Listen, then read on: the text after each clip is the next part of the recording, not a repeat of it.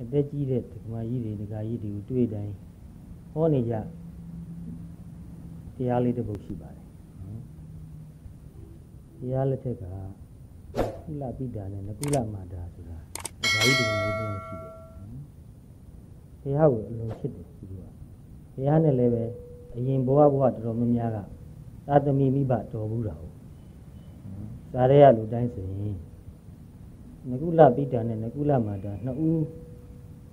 လုံးကိုတပြိုင်တည်းအဖေအမေတော်ခဲ့ရတဲ့ဘဝကလည်း900နီးပါးလောက်ရှိတယ်နကုလပိတာကတခြားသူတူသူနဲ့အိမ်အောင်ကြလို့သူ့ကိုပဲအဖေတော်ခဲ့ရတဲ့ဘဝကလည်း900နီးပါးလောက်ရှိတယ်နကုလမိတ်မာတာကတခြားခင်ဘောနဲ့အိမ်အောင်ကြလို့သူ့ကိုအမေတော်ခဲ့ရတဲ့ဘဝတွေကလည်း900လောက်ရှိတယ်တဲ့ခံမှန်းကြည့်ပြောတာပေါ့လေနော်အဲ့တော့ဘဝပေါင်းတော်တော်များများအမေအဖေတော်ခဲ့ရတာဆိုတော့ ဒီနကုလပိတာနဲ့နကုလမာတာမြတ်စွာဘုရားကိုတွေ့တွေ့ချင်းပဲသားလိုပဲအလိုချစ်တယ်ဘဝဘဝကချစ်ခဲ့တဲ့အရှိန်အဟုန်ကမကုန်နိုင်ပဲကိုနော်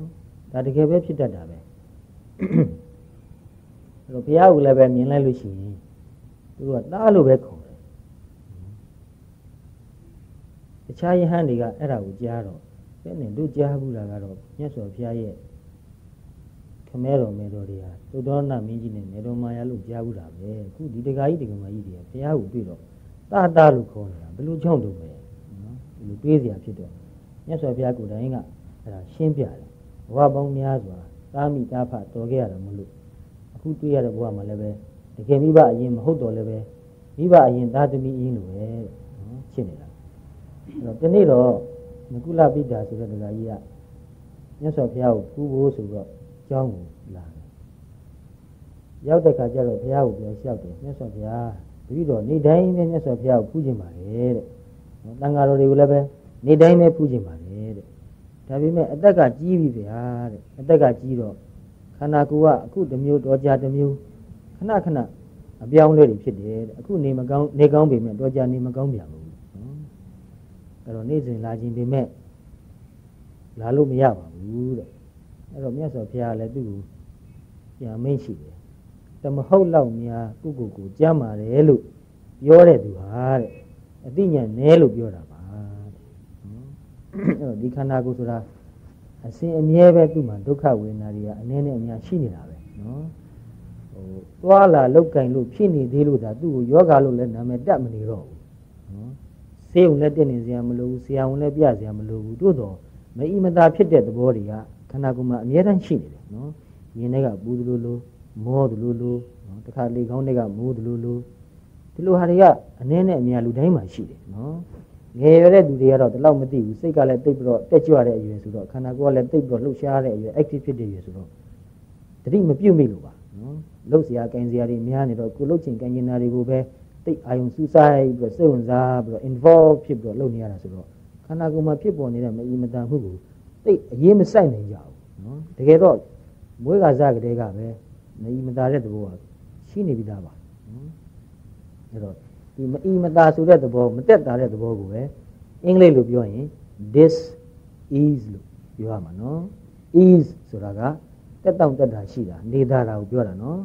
this is ဆိုရင်တက်တောင့်တက်တာမရှိဘူးမနေတာဘူးနော်အဲ့ဒါကိုပဲဒီနှစ်ခုကိုဂျားတွေက hyphen လေးဖြုတ်လိုက်ပြီးတော့တွဲလိုက်ရင် disease ဖြစ်သွားတာပဲနော်အဲ့လို အဲ့တော့မအီမတာတဲ့သဘောဆိုတာလူတိုင်းမှာအများတန်းရှိပါတယ်ယောဂအမိတာမတက်လို့ပါနော်အဲ့တော့အဲ့ဒီတခါကြီးကသူ့မှာအသက်ကြီးလို့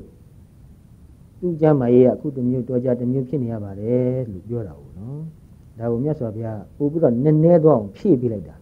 ဘယ်သူမဆိုမအီမတာဖြစ်တဲ့သဘောဟာရှိပါတယ်တဲ့နော်အကြောင်းတမဟုတ်လောက်များမိမိကိုယ်ကို ကြမ်းမာပါတယ်မအီမတာဖြစ်တဲ့သဘောမရှိပါဘူးလို့ပြောတဲ့သူဟာတဲ့အသိဉာဏ်နဲလို့ပြောတာပါတဲ့ဉာဏ်ရှိရင်ဒီလိုမပြောဘူးဉာဏ်ရှိရင် तू သိတယ်ခန္ဓာကိုယ်မှာမအီမတာတဲ့သဘောတွေကအမြဲတမ်းရှိတယ်အမြဲတမ်းလို့လိုပဲပြုပြင်ပြောင်းလဲပေးနေလို့သာနည်းနည်းလေးနေသားတာပါပြုပြင်ပြောင်းလဲမပေးလို့ရှိရင်ခဏလေးကြာရင်ကိုပဲမတိမခံနိုင်တော့အောင်မအီမတာတဲ့သဘောတွေကဖြစ်လာနေတယ်နော်အဲ့လိုနဲ့ပဲသူကမြတ်စွာဘုရားကိုလျှောက်တယ်မြတ်စွာဘုရားတဲ့တပည့်တော်အတက်လဲကြီးပြီဗျာတဲ့အဲ့တော့ တရားကိုလည်းအခြေကြီးဟောရင်တပည့်တော်မှတ်မိမှာမဟုတ်ဘူးတဲ့အဲ့တော့မှတ်မိလွယ်အောင်တူတူလေးဟောတော်မူပါတဲ့အဲ့တော့မြတ်စွာဘုရားတကယ်ကိုတူတူလေးဟောလိုက်တယ်ဒါပေမဲ့အဲ့ဒီတရားရဲ့အနှစ်သာရအဓိပ္ပာယ်အလွန်အလွန်နဲ့နေတယ်နော်ဘယ်လိုဟောလိုက်တယ်လဲဆိုတော့ပါဠိလိုဆိုရင်အာတုရကာယတမေတတော်စိတ်တံအနာတုရံဘဝိတ္တိလို့ဒီလိုဟောလိုက်တာနော်ဒီပါဠိလေးကိုဒီခွန်ကြီးကလည်းအင်မတန်နှိမ့်ချိုက်တယ် အကြိုက်ဆုံးဘုရားဟောတဲ့အဆုံးအမတွေထဲမှာသူတစ်ခုပါဝင်တယ်နော်ဗမာလူရိုးရိုးလေးအဓိပ္ပာယ်ပြောလို့ရှိရင်ခန္ဓာကိုယ်မှာပင်နာကျင်တော်လည်းပဲစိတ်မှမနာကျင်အောင်နေမယ်လို့အဲ့ဒီလိုနေပါတဲ့နော်အဲ့တော့ခန္ဓာကိုယ်ဟာကြီးကြီးငယ်ငယ်အမျက်နဲ့နာနေတာပါပဲနော်အသက်ကြီးတဲ့လူကတော့ပိုနာတာမှန်ပါလေဟို relatively ပြောရရင်ပေါ့နော်ငယ်တဲ့လူနဲ့ကြီးတဲ့လူနဲ့နှိုင်းရှင်ပြီးပြောရမယ်ဆိုရင်တော့ကြီးတဲ့သူကပိုးပြီးတော့မအီမတာဖြစ်တာများပါတယ် ဟိုမင်းချင်းသဘောကရှိလာပြီဒါအခုဒီမှာထိုင်နေတဲ့ဒကမာကြီးကိုလည်းဟိုညီညွတ်ပြီးပြောတာပါနော်သူကများခြေတော့မှာဘယ်လိုနာလဲတော့မသိဘူးပေါ့နာနာရှိနေတယ်ကောင်းကောင်းထိုင်လို့မရဘူးနော်ဒါကြောင့်ကလထဲနဲ့ထိုင်ခွင့်ပြုရတာအဲ့တော့ခန္ဓာကိုယ်မှာပဲနာဆိုလဲပဲစိတ်မှမနာအောင်နေလို့မြတ်စွာဘုရားဟောခဲ့တဲ့အဆုံးအမဟာတူတူလေးနဲ့အင်မတန်နေနေတယ်ဟောဒီနေ့မနေ့ပဲဒကာကြီးတယောက်က ဒီတရားထုတ်တယ်နဲ့ပတ်သက်ပြီးတော့လာမေးလျှောက်ရင်းနဲ့သူပြောပြလာသူတရားထုတ်လို့အင်မတန်တတိတမာတိကောင်းနေတဲ့ခါမှာတဲ့ခန္ဓာကိုယ်မှာအင်မတန်မခံနိုင်တော့နာကျင်တဲ့သဘောပင်ရှိတော့လည်းပဲအဲ့ဒီနာကျင်တဲ့သဘောကိုသူတတိလေးနဲ့စူးစူးဆိုက်ကြည့်ပြီးတော့သိနေရတဲ့ခါမှာတဲ့နာရာကနာရာတခြားသိတာကသိတာတခြားဖြစ်နေတယ်တဲ့ခန္ဓာကိုယ်မှာတော့နာနေတယ်ဒါပေမဲ့သိတဲ့စိတ်ကဘလို့မှမဖြစ်ဘူးသိနေတဲ့စိတ်ကလေးက လွတ်နေတယ်တဲ့ဘာဖြစ်လို့လွတ်နေလဲဆိုတော့ involve မဖြစ်တဲ့အကြောင်းပါတယ်နော်တတိလေးနဲ့သူ့ကိုကြည်နေတယ်ဆိုတဲ့ကူကသူ့အထက်မှာရောပါမသွားဘူးနာနေတဲ့ဒုက္ခဝေဒနာရဲ့သဘောကအာယုံဖြစ်နေတီးခြားရှိနေတယ်အဲ့ဒီအာယုံကိုသိနေတဲ့စိတ်ကလေးကသူ့ဟာသူတီးခြားခက်ခွာခွာလေးကနေထိုင်ကြည့်ရတယ်လို့ပဲသိနေတယ်နော်နည်းနည်းလေးခွာပြကြည့်ရတယ်လို့ဝင်ပူးပြီးတော့မသွားဘူးနော်အဲ့ဒါကိုပဲ involve မဖြစ်ဘူးလို့ပြောချင်တာနော်သူ့ထက်မှာရောပါမသွားဘူး တတိလေးနဲ့နေတဲ့ခါမှာသူကအတွေ့အတော့မရှိဘူးတတိတကယ်ကောင်းနေတဲ့အခါတမာတိကလည်းအင်တန်ကောင်းတယ်တတိတမာတိကောင်းနေတဲ့အခါမှာအတွေးကမရှိဘူး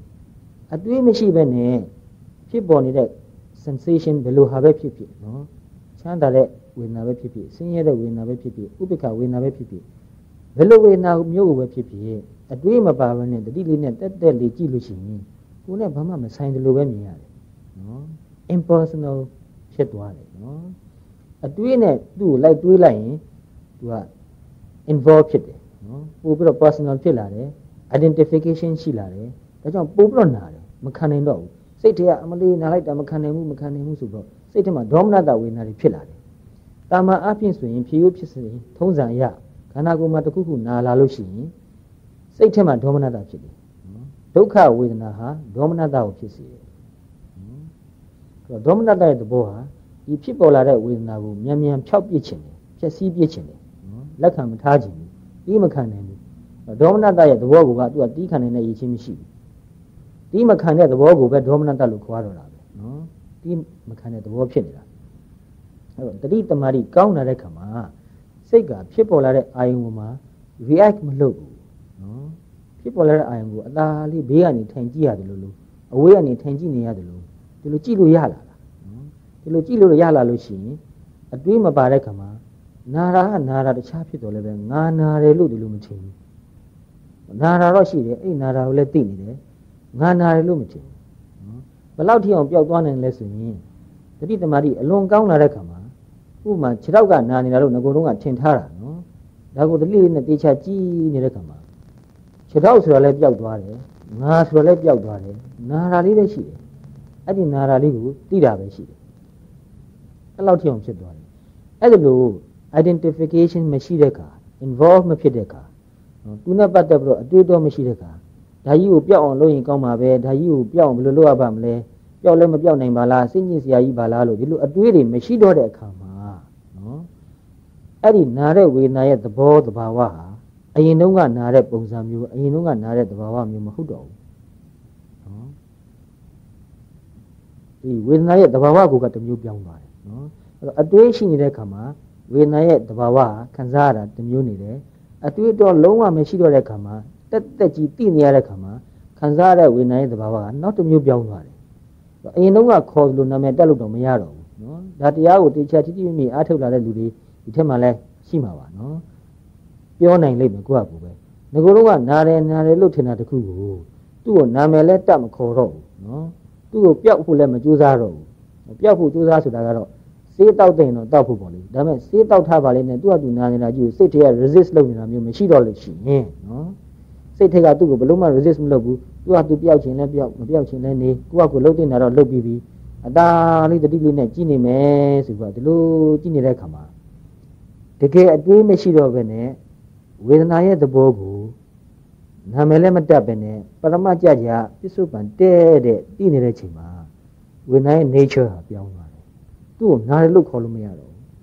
ဘယ်လိုဖြစ်သွားမှမသိဘူးပြောပြလို့မရအောင်နော်အဲ့တော့ဘယ်လိုဝေဒနာသဘောပဲဖြစ်ဖြစ်ဒုက္ခပဲဖြစ်ဖြစ်ဒုက္ခပဲဖြစ်ဖြစ်ပူတာပဲဖြစ်ဖြစ်ထုံတာပဲဖြစ်ဖြစ်ကျင်တာပဲဖြစ်ဖြစ်ကြိုက်တာပဲဖြစ်ဖြစ်စိတ်ကလေးကိုအသာလေး relax လုပ်ထားပြီးတော့သူ့ပေါ်မှာ resistant လုံးဝမရှိဘဲနဲ့သိနေလို့ရှိရင်သူသူ့ရဲ့ nature ပြောင်းလာတယ်မခံနိုင်တဲ့သဘောမဟုတ်တော့ဘူး အင်မတန်စိတ်ကို relax လုပ်ပြီးတော့တကယ်ကိုပဲအင်မတန်နူးညံ့တဲ့စိတ်ကလေးနဲ့သူ့ကိုသိနေရလို့ရှိရင်တက်တာမှုလည်းရသွားတယ်နော်အဲ့တော့ဝေဒနာရဲ့သဘောဟာသူ့ကို resist လုပ်လေလေပို့ပြီးတော့နာလေလေပဲနော်အဲ့ဒါတခုသတိထားဖို့ရအခုဒီမှာအသက်ကြီးတဲ့ဒကမကြီးတွေပါနေလို့ပြောချင်တာနော်အဲ့တော့တခုခုဝေဒနာခံစားလာရတဲ့ခါမှာစိတ်ထဲက resist လုပ်လေလေပို့ပြီးတော့နာလေလေပဲလှုပ်တဲ့စေဝါကုသမှု လှုပ်ပါလိမ့်သိမ့်လိမ့်ပါတောက်သိမ့်လည်းတောက်ပါထိုးထိုးသိမ့်လည်းထိုးပါနော်ဒီကြားတွေကလည်းပဲစိတ်ကလေးနဲ့သူ့ကိုအသာလေးကြည့်ပြနေပါနော်သူ့ကိုအနတ္တအဖြစ်မြင်နိုင်လို့ရှိရင်ဒုက္ခအများကြီးတက်တာသွားတယ်နော်ရုပ်ဆွာဆုံးပြောရမယ်ဆိုရင်ခန္ဓာကိုယ်မှာဒုက္ခဝေဒနာတစ်ခုဖြစ်နေတာနားနေတာနော်ခန္ဓာကိုယ်ပဲနာတာပါပဲစိတ်ထဲကိုသူကရောက်ရောက်လာအောင်နာအောင်လုပ်လို့မရပါဘူးတကယ်တော့နော်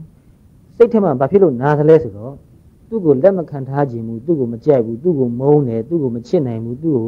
မကြည့်ခြင်းဘူးမရှိစေခြင်းဘူးမြန်မြန်ဖြစ်စည်းပြစ်လိုက်ခြင်းနဲ့မြန်မြန်ဖြောက်ပြစ်လိုက်ခြင်းနဲ့နော်အဲ့လိုသူ့ကို resist လုပ်လေလေ attack လုပ်လေလေစိတ်ထဲမှာပို့ပြီးတော့ tension များလာလေလေပဲစိတ်ကြီးကတင်းကြပြီးတော့ပင်ပန်းဆင်းရဲပြီးတော့လာတော့လားနော်ခန္ဓာကိုယ်မှာနာတာနောက်ကိုလိုက်ပြီးတော့စိတ်ပါအကြီးကျယ်ပင်ပန်းသွားပြီတကယ်တော့ခန္ဓာကိုယ်မှာနာတာကခန္ဓာသေးတယ် စိတ်ကသာတကယ် resist မလုပ်ဘဲနဲ့စိတ်ကလေးကိုတကယ်ကို soft ဖြစ်နေအောင်ထားနိုင်လို့ရှိရင်နော်တကယ်ကို relax ဖြစ်နေအောင်ထားနိုင်ပြီးတော့ဒီဝေဒနာသဘောလေးကိုအသာလေးကြည့်နေမယ်သူကသူပြောက်ခြင်းနဲ့ပြောက်မပြောက်ခြင်းလည်းနေဒီလိုထားလို့ရလို့ရှိရင်စိတ်ကချမ်းသာတယ်တခါလေးစမ်းကြည့်တယ်စမ်းကြည့်တယ်ဆိုတာကအဲ့ဒါလိုစိတ်ကလေးကို relax လုပ်ထားပြီးတော့လုံးဝ resist မလုပ်ဘူးနော်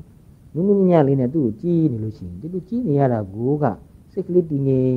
ပြီးတော့တမျိုးတောင်စိတ်ချမ်းသာတယ်လို့ဖြစ်လာတာရှိတယ်နော်တကယ်တတိတမာတိကောင်းလာရင်အဲ့လိုပဲတွေ့ရတယ်ဒါကြောင့်ဘယ်လိုဝေဒနာမျိုးဖြစ်လာဖြစ်လာအဲ့ဒီဝေဒနာကိုစိတ်အေးအေးလေးနဲ့ကြည့်ဖို့လိုပါတယ်နော်အခုလောလောဆယ်မှာကြုံတွေ့နေရတဲ့ဒီလိုဝေဒနာမျိုးကို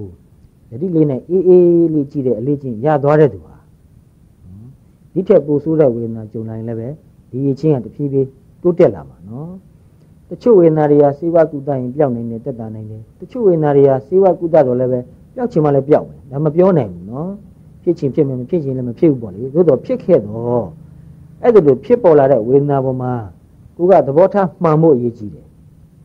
နော် attitude မှန်ဖို့အရေးကြီးတယ်လူတွေဟာဘဝတစ်လျှောက်လုံးအမြဲတမ်း resistant နဲ့ပဲနေသွားကြတာနော်ကိုမဖြစ်ချင်တာလေးဖြစ်လာရင် အတင်းပဲအဲ့ဒါကိုတွန်းတယ်ဖယ်တယ်အဲ့ဒါနဲ့ပတ်သက်ပြီးတော့အမျိုးမျိုးစိတ်ဆင်းရဲတယ်ငါမှဖြစ်ရလေခြင်းဆိုပြီး self pity လည်းဖြစ်တယ်နော်ငါကြမှာဘာလို့လဲတော့ဒုက္ခတွေကဖြစ်နေရပြန်တော့အဲ့တော့ကိုနာရာနောက်မှာလိုက်ပြီးတော့ resistant ကြောင့်စိတ်ပါနာသွားတယ်နော်ဥပမာအဖြစ်ပြောရမယ်ဆိုရင်စူးတစ်ချောင်းစူးဝင်နေတာကိုနောက်စူးတစ်ချောင်းနဲ့ကလော်ထုတ်ဖို့ကြိုးစားရရင်နောက်စူးပါကျိုးပြီးတော့အသားထဲမှာကျန်ရစ်သွားတာနှစ်ချောင်းနာသွားတာလေနော်စူးနှစ်ချောင်းစူးတဲ့ဒုက္ခရောက်သွားတယ် အဲ့တော့ခန္ဓာကိုယ်မှာသူ့ဟာသူအကြောင်းမျိုးမျိုးကြောင့်ဓာတ်တဘာဝတွေဖောက်ပြန်လို့ကံကံရဲ့အကျိုးပေးကြောင့်ဒုက္ခဝေဒနာတွေဖြစ်ပင်ဖြစ်လာတော့လည်းပဲတတိရှိတဲ့လူဉာဏ်ရှိတဲ့သူဟာစူးတစ်ချောင်းပဲအစူးခံမယ်နှစ်ချောင်းတော့အစူးမခံဘူးနော်နောက်ခန္ဓာကိုယ်နာတော့လည်းပဲမတတ်နိုင်ဘူးဓာတ်တဘာဝတွေဖောက်ပြန်လို့သူ့ဟာသူဖြစ်နေတာတတ်နေတဲ့တော့အသိဉာဏ်လေးနဲ့စေဝကုသမယ်တို့တော့ငါတော့နှစ်ချောင်းတော့အစူးမခံဘူးနော်ဉာဏ်ရှိတဲ့လူကအဲ့လိုနေလို့ရတယ်နော် အဲ့တော့တစ်ချောင်းနဲ့ဆုတာမှနောက်တစ်ချောင်းမှအဆုခံလိုက်လို့ရှိရင်ဘယ်နဲ့ပြောမလဲဉာဏ်ပညာနည်းတယ်လို့ပြောရမှာနော်တနာစရာကောင်းတယ်ဒုက္ခများခန္ဓာကိုယ်နာတာနောက်ကိုလိုက်ပြီးတော့စိတ်ပါနာသွားပြီနော်အဲ့တော့အတိညာဏ်ရှိလို့ရှိရင်ကိုယ့်အကူနေလို့ရတယ်ခန္ဓာကိုယ်ပဲနာတော့လည်းပဲစိတ်မနာအောင်နေမယ်ဆိုတော့နေလို့ရတယ်အဲ့တော့တရားကိုအမြဲတမ်းအလေးချင်းလုပ်ပြီးတော့အထုတ်နေဖို့လိုတာဒီလိုကြီးကြီးကျယ်ကျယ်ရုံကနေကြုံလာကမှစဖို့ဆိုရင်တော့နည်းနည်းတော့ခက်တယ်နော်အဲ့တော့ စောစောကတည်းကအချိန်ရှိတုန်းမှာတတိနဲ့နေတဲ့အကျင့်ကလေးနော် involve မဖြစ်သွားပဲနဲ့အသာလေးကြည့်ပြီးတော့သိပြီးတော့နေလို့ရတဲ့အကျင့်ကလေးကိုထူထောင်ထားဖို့လိုတယ်နော်ဒီမိတ်ဆွေတွေထဲမှာဒကာဒကမတွေထဲမှာအများကြီးတွေ့ရတယ်တချို့ဟာတော်တော်နောက်ကျသွားမှတရားထုတ်ဖို့တတိရတယ်တိတ်တနာတယ်တိတ်နှမျောလဲနှမျောတယ်တူနော်အဲ့တော့အခုချိန်မှာအခုလောက်ကြမ်းမာရေးကောင်းတုံးမှာကိုပဲတော်တော်ကိုကျွေးစားအထုတ်ဖို့သင့်တယ် ဒီထက်မှတရားထုတ်ဖို့တဲ့သူဘယ်သူတွေပါတယ်လဲတခါကြီးအထုတ်ဖို့လားတော်တော်လေးအထုတ်ဖို့ကြတဲ့လူတွေများနေတယ်ဩဟုတ်ပါပြီနော်อืมနေတိုင်းကောအထုတ်သလားနေတိုင်းမမှန်ဘူးတရားရဲ့အကျိုးကိုတကယ်ရကြရင်နေတိုင်းအထုတ်မှဖြစ်မယ်နော် အလေးကျင့်အမြဲတမ်းလုပ်ထားမှဖြစ်မယ်ဒီလိုတတိနဲ့နေတဲ့နီးဟာဘဝမှာအသက်တာဆုံးနေတဲ့နီးပဲနော်တတိနဲ့မနေလို့ရှိရင်ပူပြဒုက္ခများတယ်ကိုယ်လည်းပင်ပန်းတယ်စိတ်လည်းပင်ပန်းတယ်နော်အဲ့တော့ကိုယ့်ကိုယ်ကိုချစ်တယ်ကိုယ့်ကိုယ်ကိုတနာတယ်ဆိုရင်ကိုယ့်ကိုယ်ကိုတက်တာအောင်နေတဲ့နီးလေးနဲ့နေမှလောကီကိစ္စတွေအရေးကြီးပြီးတော့အဲ့ထက်မှာပဲအချိန်ကြီးအများကြီးကုန်ကုန်သွားနေကြတာနော်တရားထုတ်ဖို့အချိန်မပေးနိုင်ကြဘူးအဲ့တော့ လောကီကိစ္စတွေပြင်အစဉ်ပြေတော့လည်းပဲတခါတလေကိုယ့်ရဲ့ခန္ဓာကိုယ်နဲ့စိတ်ကိုဒီလိုအေးချမ်းအောင်တက်တာနေအောင်ထားတဲ့အလေးကျင့်ကိုမလုပ်လာတဲ့လူဟာအကြီးအကျယ်ဒုက္ခရောက်တဲ့ခါကျမှဘာလို့မှမသိဖြစ်သွားတတ်တယ်နော်ဒီရန်ကုန်မှာပဲဒီဘုန်းကြီးနဲ့တည်တဲ့မိတ်ဆွေတွေအများကြီးရှိတယ်အဲ့ဒီအများကြီးထဲမှာအင်ဂျင်နီယာတွေအများကြီးရှိတယ်ကိုယ်တိုင်လည်းပဲအရင်နေခဲ့တုန်းကစက်မှုတက္ကသိုလ်မှာနေခဲ့တာဆိုတော့အဲ့တုန်းကကျောင်းနေဘက်တွေအများကြီးရှိတယ် မနေ့ကပဲကျောင်းနေဘက်အဲကျောင်းနေဘက်တော့မဟုတ်ဘူးသူကနည်းနည်းနှစ်ကြီးတယ်ပေါ့လေနော်အဲသူတို့အိမ်ကိုရောက်တယ်အဲတော့စကားပြောကြည့်တော့သူ့မှာအိတ်ဆေးမတော့ရင်အဲ့လိုမပြောတော့ဘူးနော်အဲ့ဒါကိုသူဘယ်လိုလုပ်ရမလဲဆိုတော့မေးတယ်အိတ်ဆေးတောက်တော့မှတခါတလေနှစ်နာရီသုံးနာရီလောက်ကြာရင်ပြန်နိုးတယ်အဲ့လိုမရဘူးသူကအလုပ်ကိုအင်တန်ကြိုးစားတယ်ရာသူလက်တော်လေးကြီးနေပြီအင်မတန်ကြိုးစားလုပ်တဲ့သူ ဒါပေမဲ့သူခန္ဓာကိုယ်ကြမ်းမာရေးကမကောင်းတော့ဘူးသူစိတ်ကလည်းကြမ်းမာရေးမကောင်းတော့ဘူးလို့ဆိုရမှာနော်ခန္ဓာကိုယ်နဲ့စိတ်နဲ့တွဲရက်ပဲကိုအဲ့ဒါလောက်အခြေအနေဆိုးလာကမှသူကမေးတယ်တပည့်တော်ဘာလုပ်ရင်ကောင်းမလဲနော်ဆေးတွေကလည်းသူ့ tranquilizers တွေပေးထားတာအများကြီးနှမျိုးလားသုံးမျိုးလားသူပြောပြတယ်တခါလေးလည်းပြောင်းပေးတယ်တဲ့ကျောင်းကတခုတည်းဆိုရင်တခုတည်းရဲ့ side effect ကကြာရင်ဒုက္ခပေးတတ်တာမဟုတ်လို့နော်အဲ့သူ့အမွေအရာကိုကြည့်ရတာအေးဆေးအတောက်များလုံးလို့ ထိုင်နိုင်မမိုင်းဖြစ်နေတာတွေ့ရတယ်နော်တိတ်တနာမိတယ်ဒီလိုဩသူစိတ်နဲ့ခန္ဓာကိုယ်စောင့်ရှောက်ဖို့ရသူတတိမရဘူးအလုတ်ကိုတော့တော်တော်ကြိုးစားတယ်ယာတုကတော်တော်ကြီးသွားပြီနော်ဒါပေမဲ့အဲ့လိုမပြောတော့ဘူးစိတ်မချမ်းသာတော့ဘူးအဲ့ဒါလိုအခြေအနေတိတ်ဆိုးတဲ့အဆင့်ကိုမရောက်သေးခင်မှာကြိုကြိုတင်နေလောက်ထားတဲ့လူဆိုရင်ဒီလိုဖြစ်ဖြစ်မျိုးကိုရောက်ကိုရောက်မှာမဟုတ်ဘူးနော်အမှန်တော့ဘလောက်မှမခက်ဘူးခန္ဓာကိုယ်နဲ့စိတ်ကို အမြဲတမ်းအေးချမ်းနေအောင် relax လုပ်ပြီးတော့ထားတတ်လို့ရှိရင်ဒီလိုမဖြစ်ဘူးနော်။ကြောင့်ငယ်ငယ်ရွယ်တွေကအလေးကျင့်လုပ်ရင်တိတ်ကောင်းတယ်။တရားအထုတ်ရတာပင်မနဲ့ထင်လို့နေတိုင်းမလုပ်ဖြစ်တာလားလို့မေးတော့မေးလိုက်ချင်တာ။နော်။တရားအထုတ်ဒါတော့အပန်းပြေတာမရှိဘူး။တရားအထုတ်တာကိုအလေးကျင့်ရသွားတဲ့လူတွေကဘယ်လိုပြောလဲဆိုတော့တပိတော့အလုပ်လုပ်လို့တအားပင်ပန်းလာရင်တရားပဲထိုင်တော့တာပဲ။ နိုင်ဝက်လောက်ထိုင်မိတယ်ဆိုရင်ပဲပင်ပန်းတာတွေကတဖြည်းဖြည်းပြီးပြီးတော့ပျောက်သွားတယ်။နော်။ဘလောက်ကောင်းထားလဲစဉ်းစားကြည့်စမ်းမနေ့မှနိုင်ဝက်လောက်ထိုင်လိုက်နော်ကောင်းရင်ကောင်းမကောင်းရင်နေပါစေမနေ့စောစောဆိုတာအေးအေးဝပြီးတော့နိုးတဲ့ချိန်နော်ခန္ဓာကိုယ်မှာအနာရထားတယ်အားတွေပြည့်နေတယ်စိတ်ကလည်းအေးအေးဝထားတဲ့ကြောင့်ဘာဖြစ်ပြောနည်းနည်းတော့တည်ငြိမ်မှုရှိတယ်နော်စိတ်ထဲမှာလှုပ်ရှားကင်စရာတွေဟိုအတွေ့ဒီတွေ့တွေကရှုပ်ထွေးပြီးတော့ပေါ်မလာသေးဘူးအဲ့လိုချိန်မှာစောစောစီးထပြီးတော့မျက်နှာတစ်ပြီးတော့ ဒီကိစားတော့ဖို့လိုတယ်ဆိုရင်လည်းပဲလိုလဲကူကူတစ်ခုခုစားတော့ပြီးခဏလေးတရားထိုင်မှုကောင်းတယ်အလေးကျင့်နေတိုင်းလောက်ထားလို့ဆိုရင်အဲ့ဒီခဏလေးကအင်တန်တန်မိုးရှိတယ်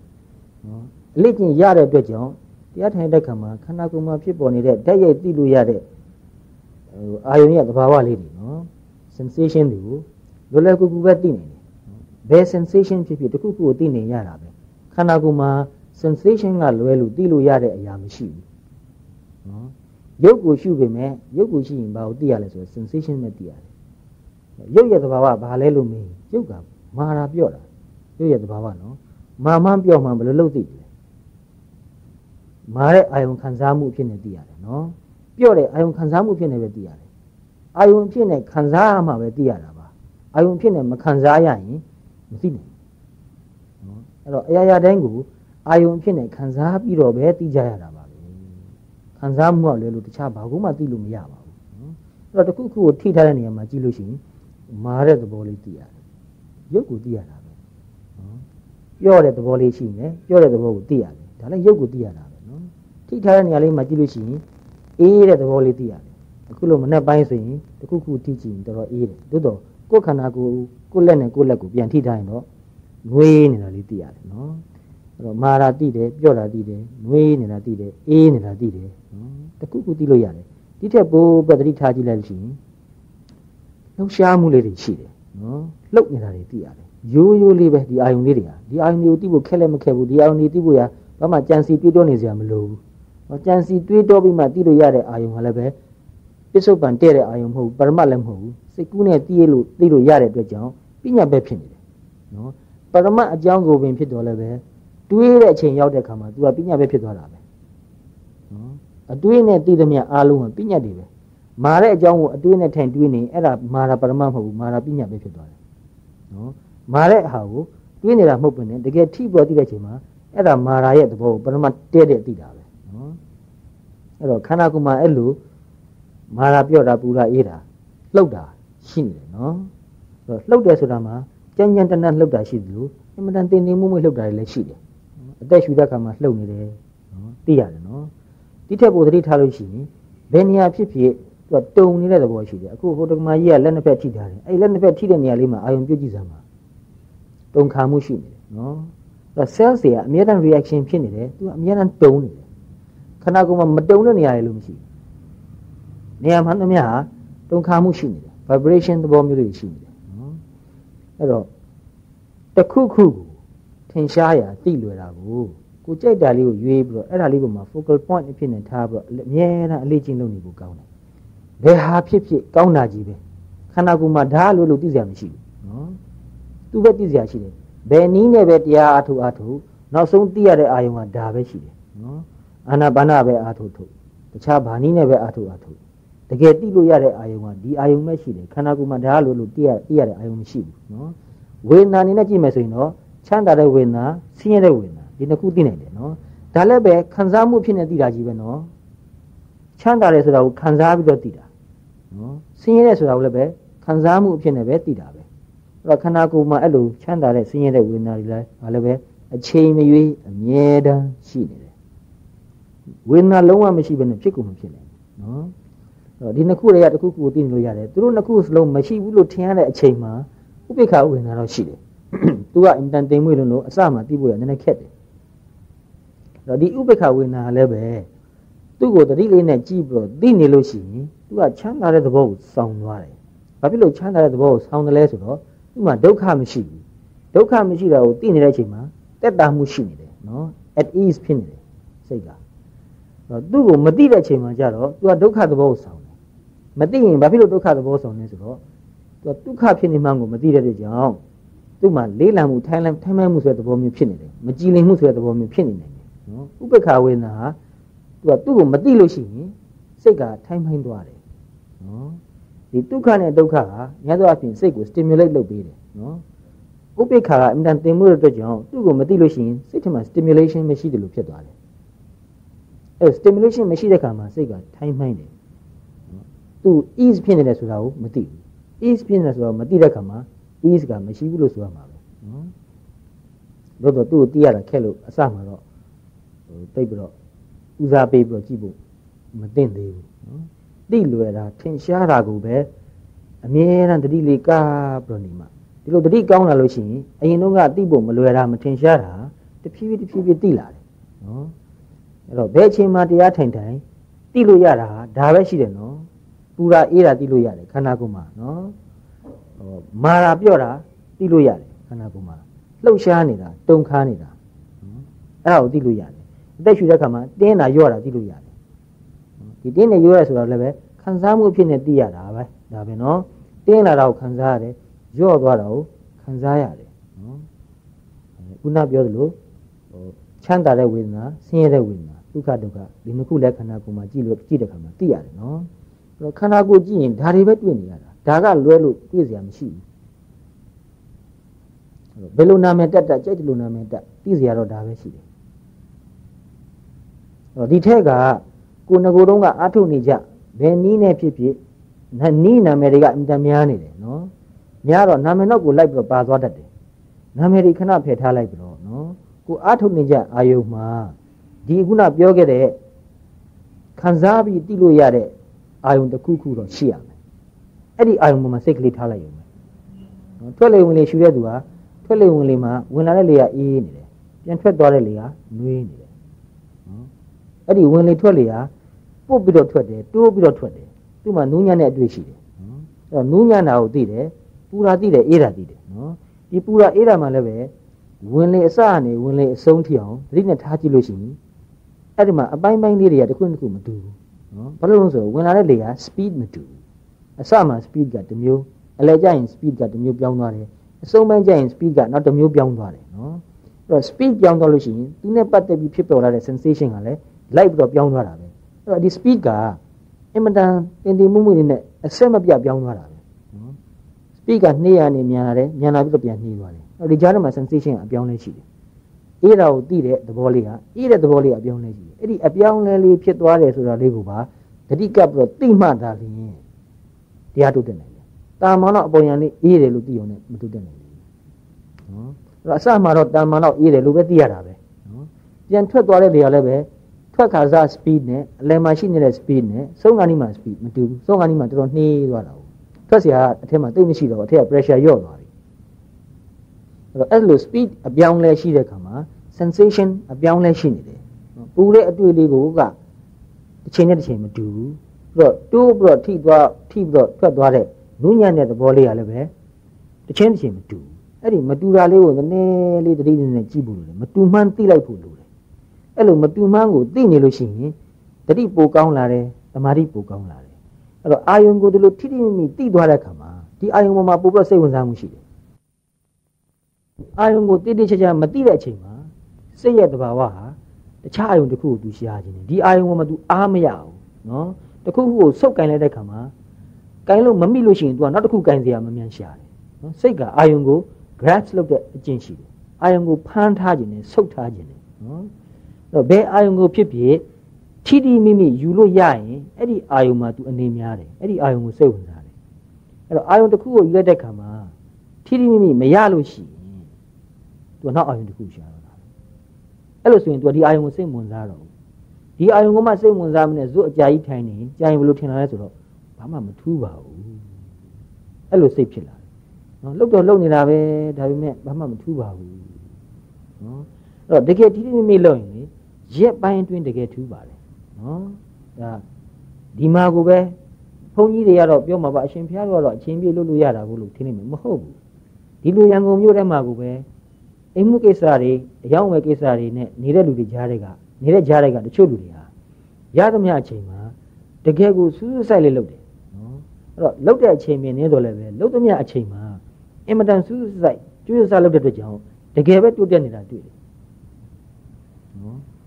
အဲ့တော့လုပ်တဲ့ခါမှာဘယ်လုပ်ကိုဖြစ်ဖြစ် whole heartedly လုပ်ဖို့အရေးကြီးတယ်နော် whole heartedly စိတ်နှလုံးကိုအပြည့်ပေးပြီးတော့လုပ်လိုက်ပါအဲ့လိုလုပ်လို့ရှိရင်လုပ်ရတဲ့လောက်အကျိုးများတယ်အချိန်ကုန်တဲ့လောက်အကျိုးအမှန်ရှိတယ်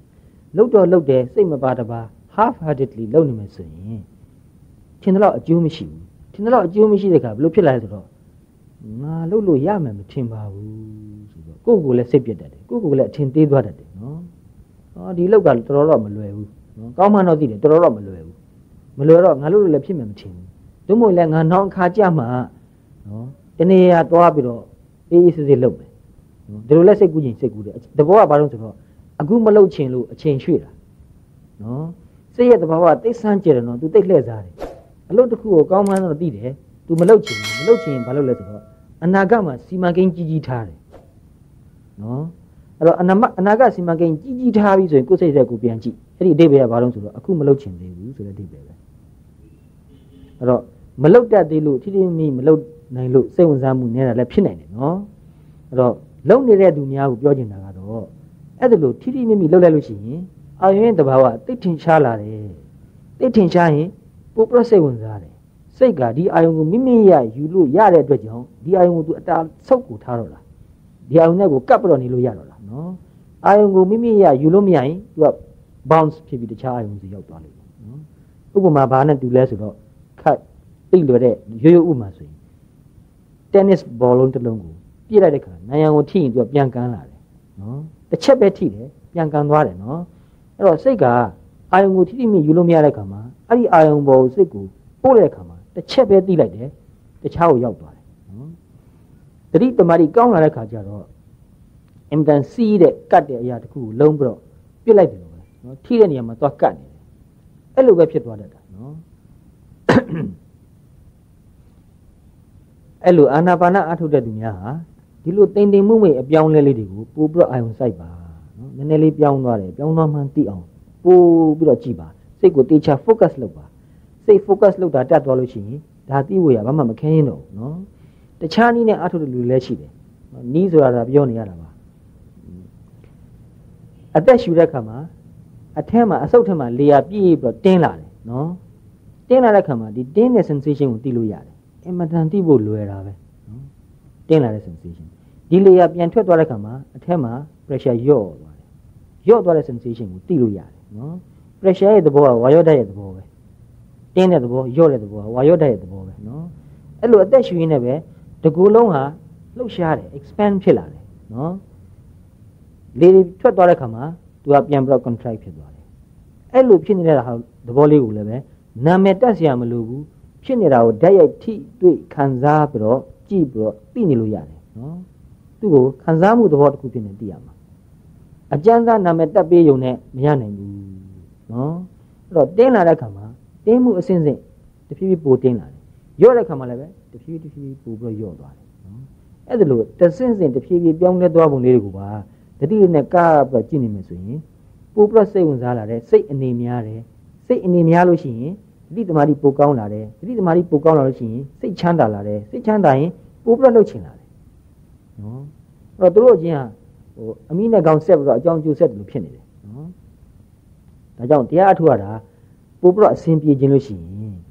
အဲ့ဒါလိုဖြစ်နေတဲ့ sensation အပြောင်းလဲလေးတွေကိုပါတတိလေးနဲ့ပိုးပြီးတော့ကပ်ပြီးတော့ကြည့်ပါ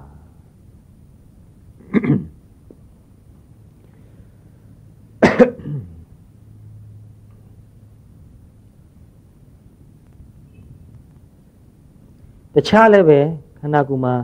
သိလို့ရတဲ့အာယုန်တွေအများကြီးရှိပါတယ်နော်တချို့ပြောလေးရှိတာကြားဘူးတယ်နော်ပူတာအေးတာလှုပ်တာဆင်းရဲတာချမ်းသာတာဒါမျိုးရှိမှတယ်လည်းရှိတယ်ဒီထက်မှာအဲ့ဒါမျိုးရှိမှပူတဲ့သူများရှိသလားပဲ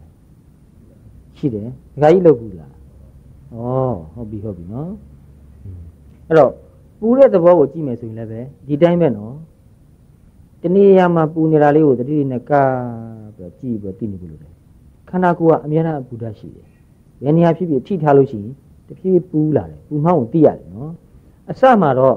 တာမန်လောက်ပဲပူတယ်လို့သိနေတာ။နော်။အဲ့ဒီပူတဲ့သဘောလေးကိုတေချာတတိနဲ့ကကကပြီးတော့ကြည့်လို့ရှိရင်ကြာလို့ရှိရင်ဒီပူတဲ့သဘောကအငွေ့လေးလိုဖြစ်နေတယ်။နော်။အငွေ့တရှင်ရှင်ထွက်နေတယ်လို့ပဲခံစားရတယ်နော်။ခံစားမှုဖြစ်နေသိနေတယ်။သူကအတော်ကိုသိမ်မွေ့တယ်။အဲ့လိုသိနေရနေတတိတကယ်ကောင်းလို့လုံးဝအတွေးတော့လည်းမရှိတော့ဘူးဆိုရင်ပစ္စုပန်တက်တဲ့ချိန်မှာ ဘယ်လိုမြင်ရလဲဆိုတော့ဥပမာလက်လက်ချင်းထိထားလို့ပူတဲ့နေရာလေးဆိုပါတော့တတိတကယ်ကောင်းတဲ့ချိန်မှာအရင်တော့ကတော့ငါလက်ကထိထားတဲ့နေရာမှာပူနေတယ်လို့ဒီလိုသိနေတာနော်တတိကောင်းတဲ့ချိန်မှာငါဆိုတာလည်းပေါ်မလာတော့ဘူးလက်ဆိုတာလည်းပေါ်မလာဘူးပူတာလေးတစ်ခုကိုပဲသိနေတော့တာနော်ဒီပူတာတော့မှနာမည်မတက်တော့ဘူးပူတယ်ပူတယ်လို့နာမည်မတက်ဘူးအဲ့တခုကိုလည်းထပ်ပြီးတော့ပြောပြနေတာအဲ့လိုခန္ဓာကိုယ်မှာဖြစ်ပေါ်နေတဲ့နော် ထင်ရှားတဲ့ရုပ်ရဲ့သဘာဝဝေဒနာရဲ့သဘာဝတွေကိုကြည့်နေတဲ့အခါမှာဘာနာမည်မှမတတ်ပါနဲ့နာမည်ပတ်နာမည်တက်တာကြီးကအကျင့်ပါသွားတတ်တယ်နော်တချို့ကနာမည်တက်တာကြီးအကျင့်ပါနေတော့တရားထုတ်နေတာတော်ကြာနေပြီအခုထိအဲ့ဒီနာမည်ကြီးပဲစိတ်ထဲကလိုက်ဆိုဆိုပြောနေတယ်နော်ဟိုတမြန်နေ့ကဒကမကြီးတယောက်ဆိုပြောတယ်တပည့်တော်စိတ်ထဲမှာတရားအထုတ်တိုင်းစိတ်ထဲကစကားလုံးနေနဲ့နာမည်လိုက်ဆိုနေတာတဲ့ အဲ့ဒါကြီးကနားထဲမှာတော့အကျေကြီးကြားသလိုဖြစ်ပြီးတော့စူးနေတယ်တဲ့ဒီအတိုင်းကြီးတိတ်သွားအောင်ဘယ်လိုလုပ်အောင်မှမသိဘူးနော်တပည့်တော်ကတိတ်တိတ်ဆိတ်ဆိတ်လေးပဲတရားထုတ်ချင်တော့လားနော်စိတ်ထဲမှာဘာမှနာမည်ခေါ်မနေတော့ဘဲနဲ့တိတ်တိတ်လေးအာရုံလေးကိုကပ်ပြီးတော့တည်နေလိုက်ချင်တော့လားနော်နာမည်ဆိုရတာနည်းနည်းတော့အလုတ်များတယ်အလုတ်ပင်ပန်းတယ်နာမည်ဆိုတာပြညတ်ပဲအာယုံတစ်ခုဖြစ်လာတဲ့ခါမှာဒီအာယုံကိုနာမည်မှန်မှန်ခေါ်ဖို့ရဆိုတာက memory ကိုအားကိုးရတယ် concept ကိုအားကိုးရတယ်နော် အဲ့ဒီ memory ကိုအားကိုးရရင်ကိုပဲသူ process က step တွေအင်တာများတယ်အာယုံကိုတိလိုက်တယ်နာမည်မှန်အောင်ခေါ်ရတယ်ဒီကြားထဲမှာ steps တွေအတော်ကိုများတယ်နော်နာမည်ပေါ်မှာလိုက်ပြီးတော့တစ်လုံးနဲ့ရှိတဲ့နာမည်ဆိုရင်တစ်မျိုးရှိမယ်တစ်လုံးနဲ့ရှိရဆိုရင်ဒီမှာ step က၄ခုလောက်ရှိတယ်နှလုံးရှိရင် step က6ခုလောက်ဖြစ်သွားတယ်နော်သုံးလုံးရှိတဲ့နာမည်ဆိုရင်သူ step က8ခုလောက်ဖြစ်သွားတယ်အဲ့တော့စိတ်ကဒီနာမည်ခေါ်တဲ့အလုပ်ထက်မှာအလုပ်ရှုပ်နေတယ်အလုပ်တွေများနေတယ်စိတ်အလုပ်များတယ်နော် အဲ့ဒီစိတ်အလုပ်များတာကြီးကိုမများအောင်သူ့နာမည်မခေါ်ဘဲထားလိုက်ရုံပဲတော့နာမည်ခေါ်တဲ့ချိန်မှာပြညတ်ကိုအာယုံပြုတယ်ပြညတ်ကိုအာယုံပြုရင်အမြဲတမ်းပြစ္ဆုတ်ပါမတည့်တော့ဘူးပြညတ်ကအမြဲတမ်းအတိတ်ပဲပြစ္ဆုတ်ပါမဟုတ်ဘူးနော်ပြညတ်ကိုခေါ်ဖို့ဆိုတာ memory ကိုအားကိုးရတယ် memory ဟာအမြဲတမ်းအတိတ်ပဲဘယ်တော့မှပြစ္ဆုတ်ပါမဟုတ်ဘူးနော်တော့စိတ်ကနာမည်ခေါ်လိုက် အာယုံကိုပြန်တိလိုက်နာမည်ခေါ်လိုက်အာယုံပြန်တိလိုက်ဆိုရင်ဗျာများသလိုဖြစ်နေတယ်နော်အစပိုင်းမှာတော့အကူညီရတယ်လို့လိုပဲတိုးတော့ဒီအကျင့်ကြီးပါသွားရင်တော်တော်ကိုဒုက္ခရောက်တယ်တော့ကိုယ်ခန္ဓာမှာဖြစ်နေတာပဲသူများကိုပြောပြရတာမှမဟုတ်ပဲကိုယ့်ကိုယ်သိရတာဘာလို့နာမည်တက်ရမှာလဲဘာမှနာမည်တက်ဖို့မလိုဘူးတဲ့ရဲ့ပဲသိလိုက်ပြီးပြီရိုးရိုးလေးနဲ့လွယ်လွယ်လေးပဲကိုယ်ခန္ဓာမှာတဏှာမှာထိနေတာပူနေတာကို အာယုံဖြစ်နေခံစားပြီးတော့သိနေတယ်သူ့နာမည်ခေါ်စရာမလိုနာမည်မခေါ်လဲသူ့သူပူတာပါပဲနော်ခေါ်လဲပဲသူ့သူပူတာပါပဲနော်ခေါ်နေစရာမလိုတော့ဘူးအဲ့တော့ step ကမများတော့ဘူးနော်စိတ်ကအလုပ်နှစ်ခုမလုပ်တော့ဘူးနော်တစ်ခုတည်းပဲလုပ်ရတော့တာအဲ့တစ်ခုတည်းလုပ်ရရင်အထီးမိဆုံးဖြစ်တယ်မြန်မြန်လည်းတိုးတက်တယ်နှစ်ခုလုပ်လို့ရှိရင်စိတ်ကဗျာများတယ်နည်းနည်းတော့စိတ်ထဲမှာ agitation ရှိတယ်ဒါထိတိမိမိအားထုတ်ပြုလို့ဆိုရင်ဒီဟာကို experientially ပြောနိုင်တယ်ဟုတ်တယ် နာမည်တစ်ခုခေါ်လိုက်ရင်စိတ်ကနည်းနည်း agitate ဖြစ်သွားတယ်သူ့ကိုနာမည်မခေါ်ဘဲနဲ့ဒီတင်ကပ်ပြီးတော့သိလို့ရှိရင်ပို့ပြီးတော့သိလို့ကောင်းတယ်နော်အဲ့တော့ဘာဖြစ်လို့နာမည်သုံးရတယ်လဲဆိုရင်လုံးဝတရားမထုတ်ဘူးသေးတဲ့သူများဟာစိတ်အင်မတန်ပြန့်လွင့်တယ်နော်ကိုယ့်အကူဘယ်လောက်ပြန့်လွင့်နေဆိုတာပြောဖို့တောင်မလွယ်ဘူးအာယုန်လေးတစ်ခုမှာ9စက္ကန့်လောက်စိတ်ကလေးနေဖို့ကိုမလွယ်ဘူးအာယုန်မှာစိတ်ကိုထားလိုက်ရင်တစ်ချက်တည်းနောက်တစ်ခုရောက်သွားတာပဲနော်အဲ့လိုမလွယ်တဲ့ခါမှာလွယ်အောင်ဆိုပြီးတော့ နာမည်ခေါ်ခိုင်းတာနော်အစမှာတော့ဒါလွယ်အောင်ဆိုပြီးခေါ်ခိုင်းလိုက်တာနော်စိတ်ကလေးကိုဒီမှာထားနာမည်လေးနဲ့လိုက်ဆိုပေးနေဆိုတော့သဘောကဒီအာယုံမှာစိတ်ကိုထက်ခါထက်ခါပြန်ပို့နေတာပဲတခြားရောက်တိုင်းရောက်တိုင်းပြန်ပို့တယ်မရောက်တဲ့ခင်မှာပြန်ပို့တယ်နော်အဲ့တော့အာယုံပေါ်မှာတုံးတက်တဲ့သဘောလို့ဆိုနေတာပဲဝိတက်ရဲ့သဘောပဲဝိတက်ဆိုတာကဟိုကြံစီတွေးတော့တဲ့သဘောတက်ကိုပြောတာမဟုတ်ဘူးဒီအာယုံရဲ့သဘောလေးကို စိတ်ထဲကပျောက်မသွားအောင်မကြမကြပြန်ပြန်ဖော်ပေးတာကဝိတက်လို့ခေါ်တာသို့မဟုတ်ရင်စိတ်ကတခြားကိုရောက်သွားမှဆိုလို့ထက်ခါတလဲသူ့ပုံမှာပြန်ပြန်ပြန်ပြန်တင်ပေးနေတဲ့သဘောကိုဝိတက်လို့ခေါ်တယ်နော်အဲ့ဒါကိုလည်းပဲစကားမဆိုဘဲနဲ့တင်ပေးထားလဲရတာပါပဲနော်စကားလုံးဆိုမှရမဟုတ်ပါဘူးအဲ့လိုစကားလုံးမဆိုဘဲနဲ့တည့်ရိုက်တိလို့ရတဲ့ခါမှာ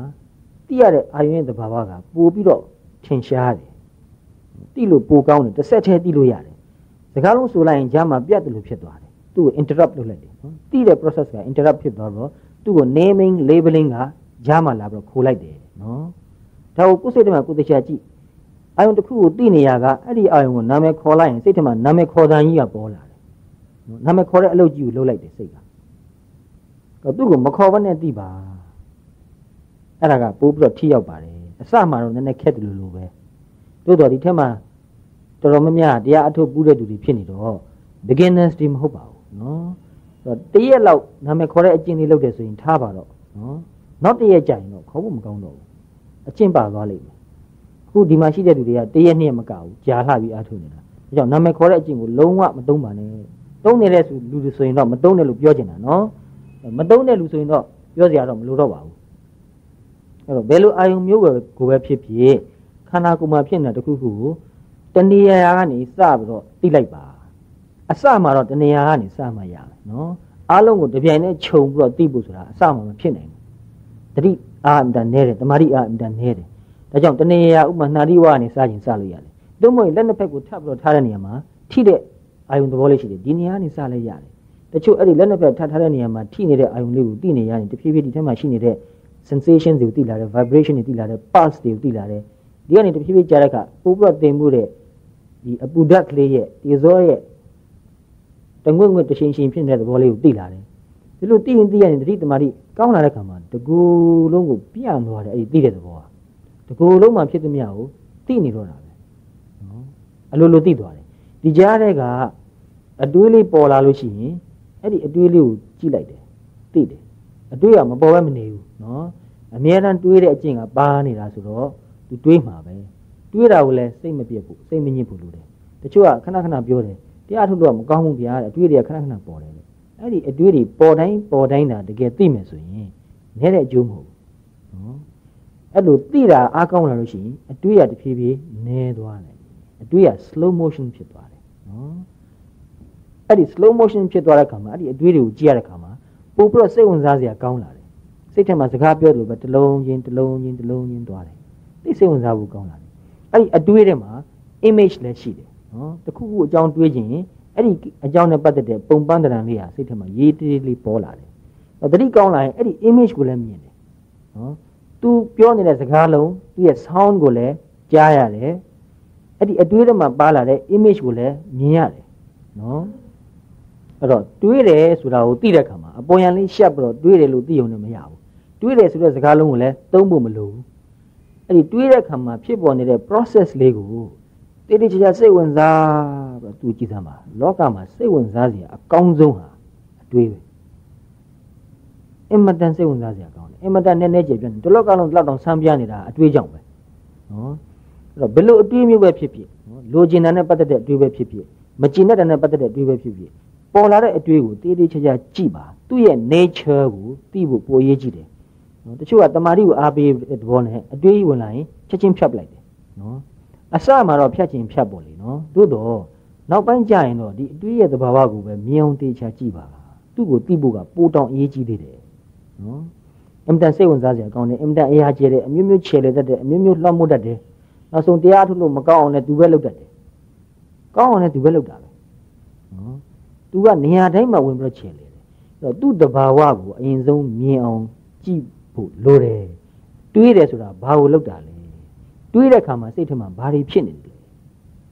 နော်အဲ့တော့ဝန်တာစရာကိုကြည့်လိုက်တွေးတယ်ဆိုရင်စိတ်ထဲမှာတခြားကြည့်လိုက်ပါသူစိတ်ထဲကစကားတွေပြောနေတယ်နော်သဘောတွေကြားတယ်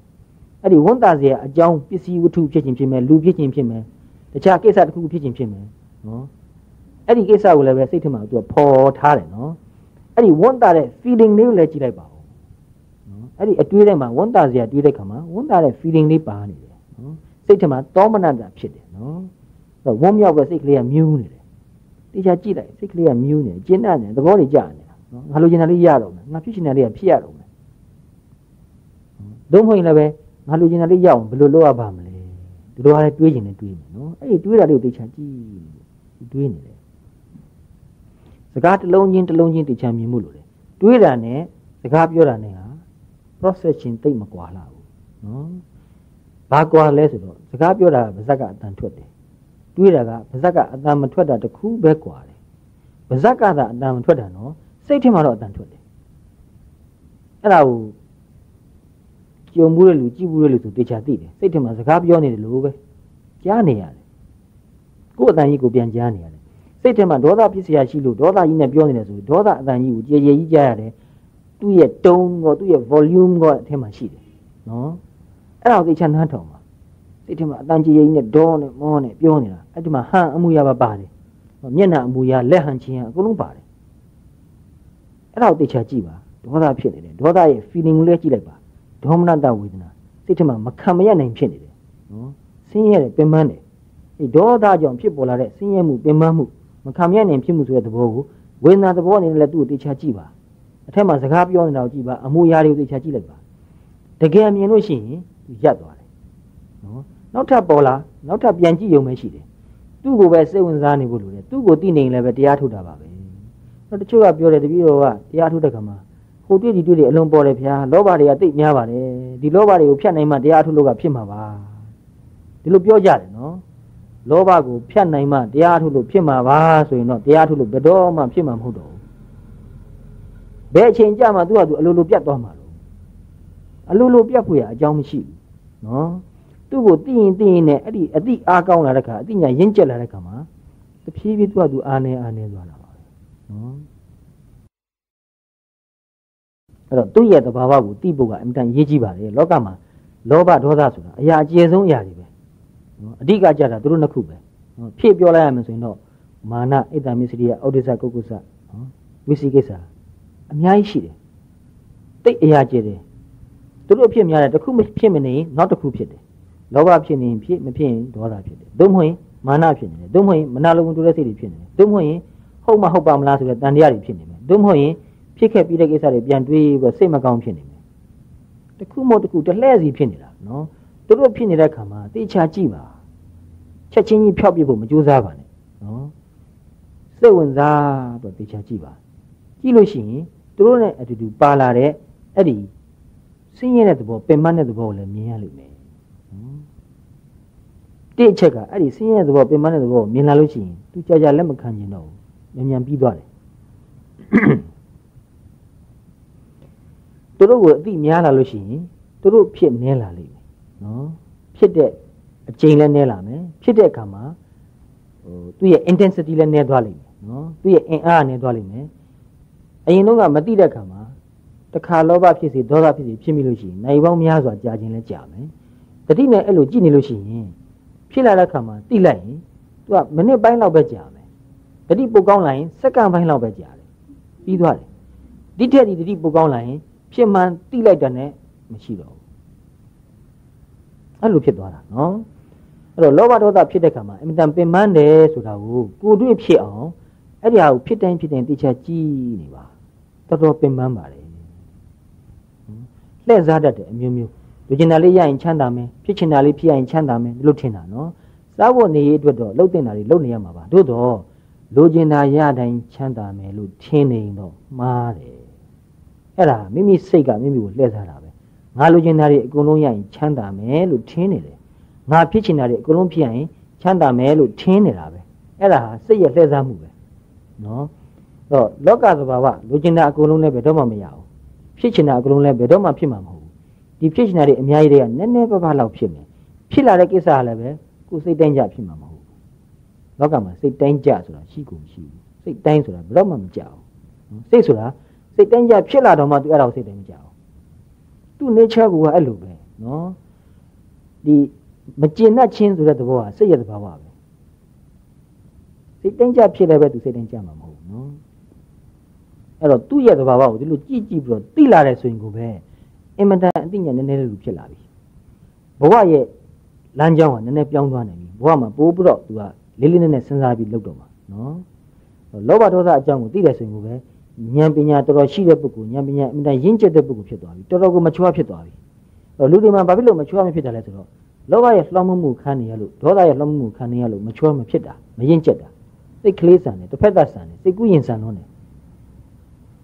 သူတို့နှစ်ခုကိုတိလာတယ်ဆိုရင်ကိုပဲသူတို့အလိုကိုမလိုက်တော့ဘူးသူတို့ရဲ့လွှမ်းမိုးမှုကနေတက်တာရရပြီသူတို့ပျောက်မသွားသေးတော့မှနော်လုံးဝအပြီးတိုင်ချုပ်ငိမ့်မသွားသေးရင်တော့မှသူတို့ရဲ့ influence ကအများကြီးနည်းသွားပြီနော်တော့တိလိုက်တယ်ဆိုရင်ကိုပဲတဏှာကြီးလောက်ဖြစ်ရမယ်လောဘဒေါသမာနအိတ်တမစ္စရိယရဲ့ပူလောင်မှုဟာ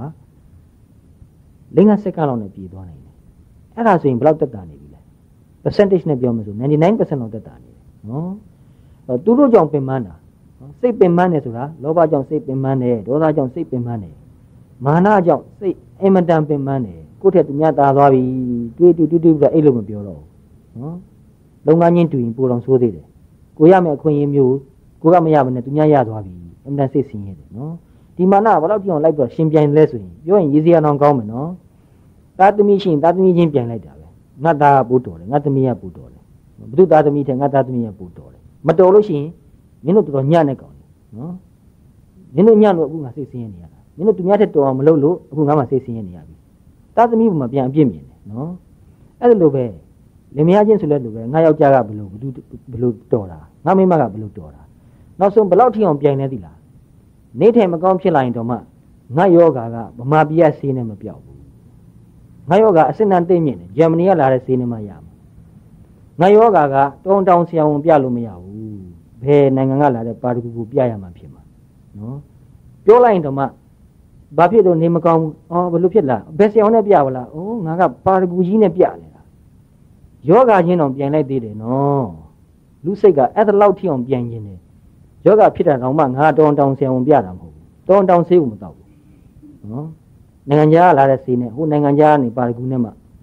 တောင်းတောင်းဆရာဝန်နဲ့ပျောက်သွားရင်ကိုပဲอืมတိတ်မကြိုက်ချင်ဘူး စိတ်ရတော့ပါအဲ့လိုပဲအမတန်ဆန်းကြည်တယ်နော်တရားထုတ်ရင်တော့မှဘယ်ရိတ်တာဆိုတာချင်းပြန်ကျင်တယ်အမတန်ဆန်းကြည်တဲ့စိတ်ပဲတော်တော်ကိုပြန်ကျင်တယ် compare လုပ်ချင်တဲ့ဝါသနာအမတန်ရှိတယ်စိတ်ကနော်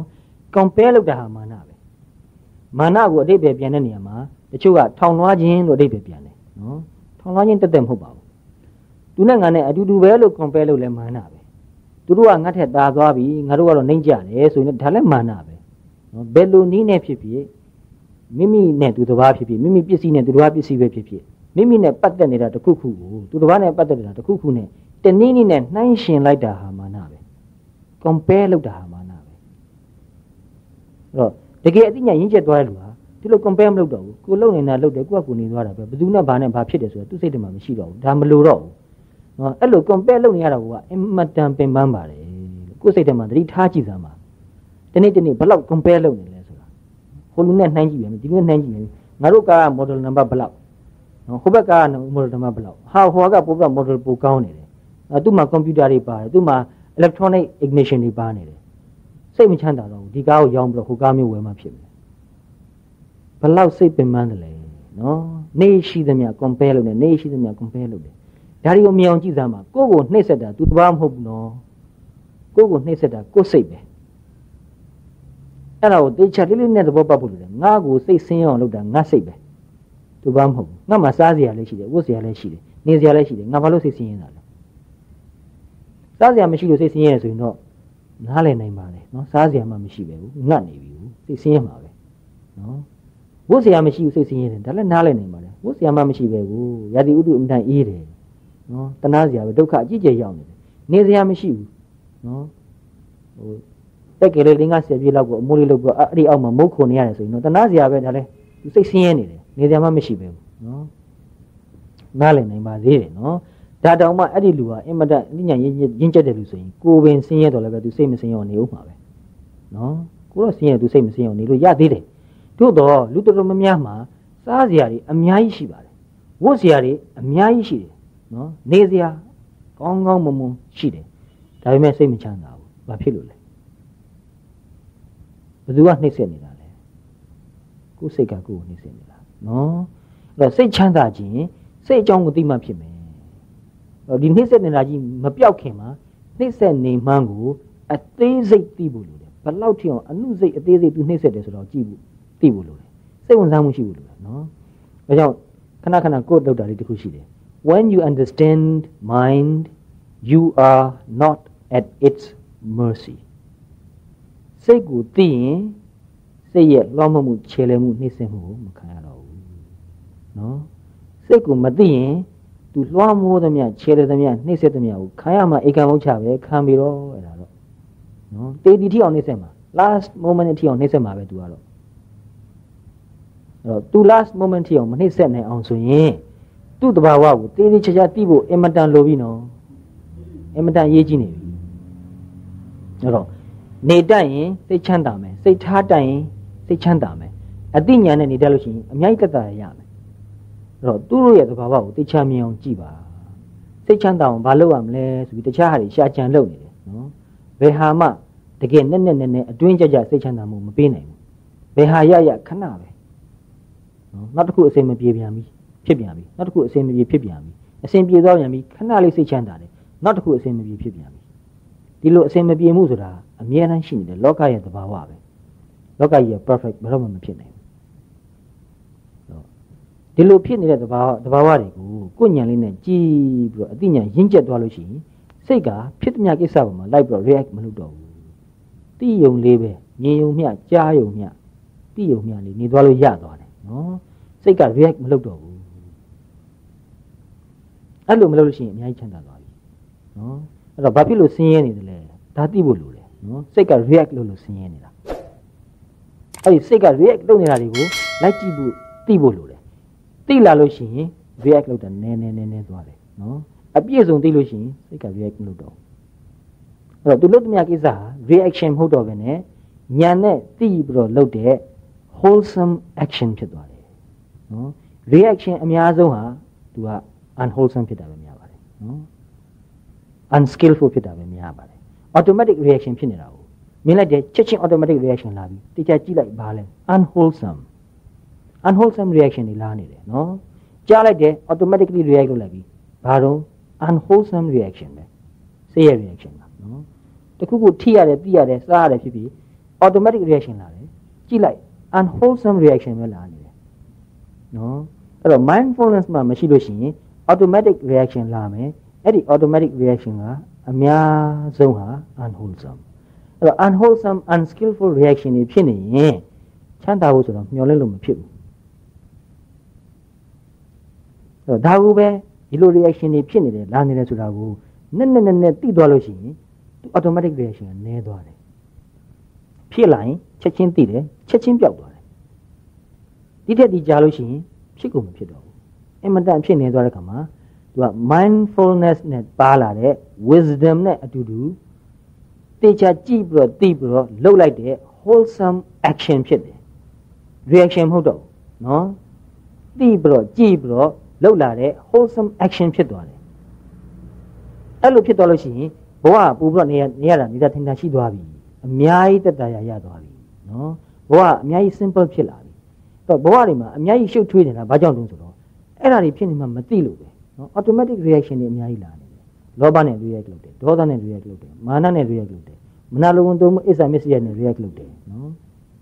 ဒီလိုသာ react လုပ်နေဘယ်မှတက်တာရနိုင်ပါ့မလဲဘယ်တော့မှတက်တာရမရနိုင်ဘူးနော်အဲ့သူတို့ကိုသူတို့ဖြစ်နေရင်စိတ်ကရှုပ်ထွေးတယ်ဘဝကရှုပ်ထွေးတယ်စိတ်ရှုပ်ထွေးရင်ဘဝရှုပ်ထွေးတယ်စိတ်ရှင်းရင်ဘဝကလည်းရှင်းသွားတာပါပဲဘဝဆိုတာစိတ်ရဲ့ reflection ပဲနော်အဲ့တော့ ရှုပ်နေတာကိုအရင်သိဖို့လိုတယ်ရှုပ်နေတာကိုတိတိကျကျသိသွားရင်တဖြည်းဖြည်းတဖြည်းဖြည်းရှင်းရှင်းရှင်းရှင်းသွားတယ်နော် automatic reaction မလာတော့ဘူး automatic reaction ကြောင့်တိတ်ရှုပ်တာပါနော် mindful wholesome action ကမရှုပ်ဘူးဒါကြောင့် mindfulness keeps our life simple and easy လို့ဒီလိုမိတ်ဆွေတယောက်ကပြောတယ်နော်ဒီလူကအမှန်တပြောကောင်းတယ်လို့သူပြောလိုက်တဲ့စကားလေးတွေကရိုးရိုးလေးနဲ့တိတ်အတိတ်ပဲကောင်းတယ်နော် တတိရှိနေလို့ရှိရင်ဘဝဟာ simple ဖြစ်မယ် easy ဖြစ်မယ်တတိမရှိလို့ရှိရင် very complicated ဖြစ်လာမယ် very hard နော်ဘဝဟာတကယ့်ကို burden အကြီးကြီးဖြစ်လာမယ်နော်ဝန်တော့ဝန်ဖို့အင်တန်ကြီးပါလားလို့ညှိညူနေရတော့အောင်ဖြစ်လာလိမ့်မယ်နော်အဲ့တော့ခန္ဓာဝန်ခန္ဓာဝန်လို့ပြောကြတယ်ခန္ဓာဝန်ကတော့ယဟန္တာဖြစ်သွားတော့မကင်းသေးဘူးနော်တို့တော့ခန္ဓာဝန်ထက်ပိုပြီးတော့ဆင်းရဲတာကကိလေသာဝန်ပဲ လောဘအင်တန်ဝန်တို့ကြည့်တယ်ဒေါသအင်တန်ဝန်တို့ကြည့်တယ်မာနလည်းအတော်ကိုဝန်တို့ကြည့်တယ်နော်ကျန်တဲ့သူ့အပေါင်းဖော်တွေအကုန်လုံးအတ္တမစ္စရိယဥဒိစ္စကုက္ကုစ္စဝိသိကိစ္စတွေအကုန်လုံးဟာအင်တန်ဝန်တို့ကြည့်တယ်သူတို့ဘာလို့ဖြစ်ခွင့်ရနေတာလဲဆိုတော့ absent minded ဖြစ်နေလို့သူတို့ဖြစ်ခွင့်ရနေတာပါနော် absent minded ဖြစ်နေလို့သူတို့တွေဖြစ်ဖို့ရအခွင့်အရေးရနေတာအဲ့တော့သူတို့ဖြစ်မှန်းကိုသိတယ်ဆိုရင်ကိုပဲ absent minded မဖြစ်တော့ဘူးသိလိုက်တာက absent minded မဖြစ်တာနော် mindful ဖြစ်သွားတာအဲ့တော့ absent minded ဖြစ်တယ်နဲ့ mindful ဖြစ်တယ်နဲ့ဟာဆန့်ကျင်ဘက်ပဲနော်အဲ့တော့ mindful ဖြစ်တဲ့အချိန်မှာ absent minded မဖြစ်ဘူးနော်အဲ့တော့ absent minded ဖြစ်နေတဲ့အချိန်မှာ automatically reaction တစ်ခုခုစိတ်ထဲမှာပေါ်လာရင်အဲ့ဒါကိုသိလိုက်တာက mindful ဖြစ်သွားပြီ absent minded မဟုတ်တော့ဘူးဒီလိုသိတဲ့အားကောင်းလာလို့ရှိရင်ဒီလိုသိတဲ့ frequency များလာလို့ရှိရင် automatic reaction တစ်ဖြည်းဖြည်းနည်းသွားတယ်နော်အဲ စကားကဘယ်ကနေရောက်သွားလဲဆိုတော့တရားထိုင်နေတဲ့ခါမှာ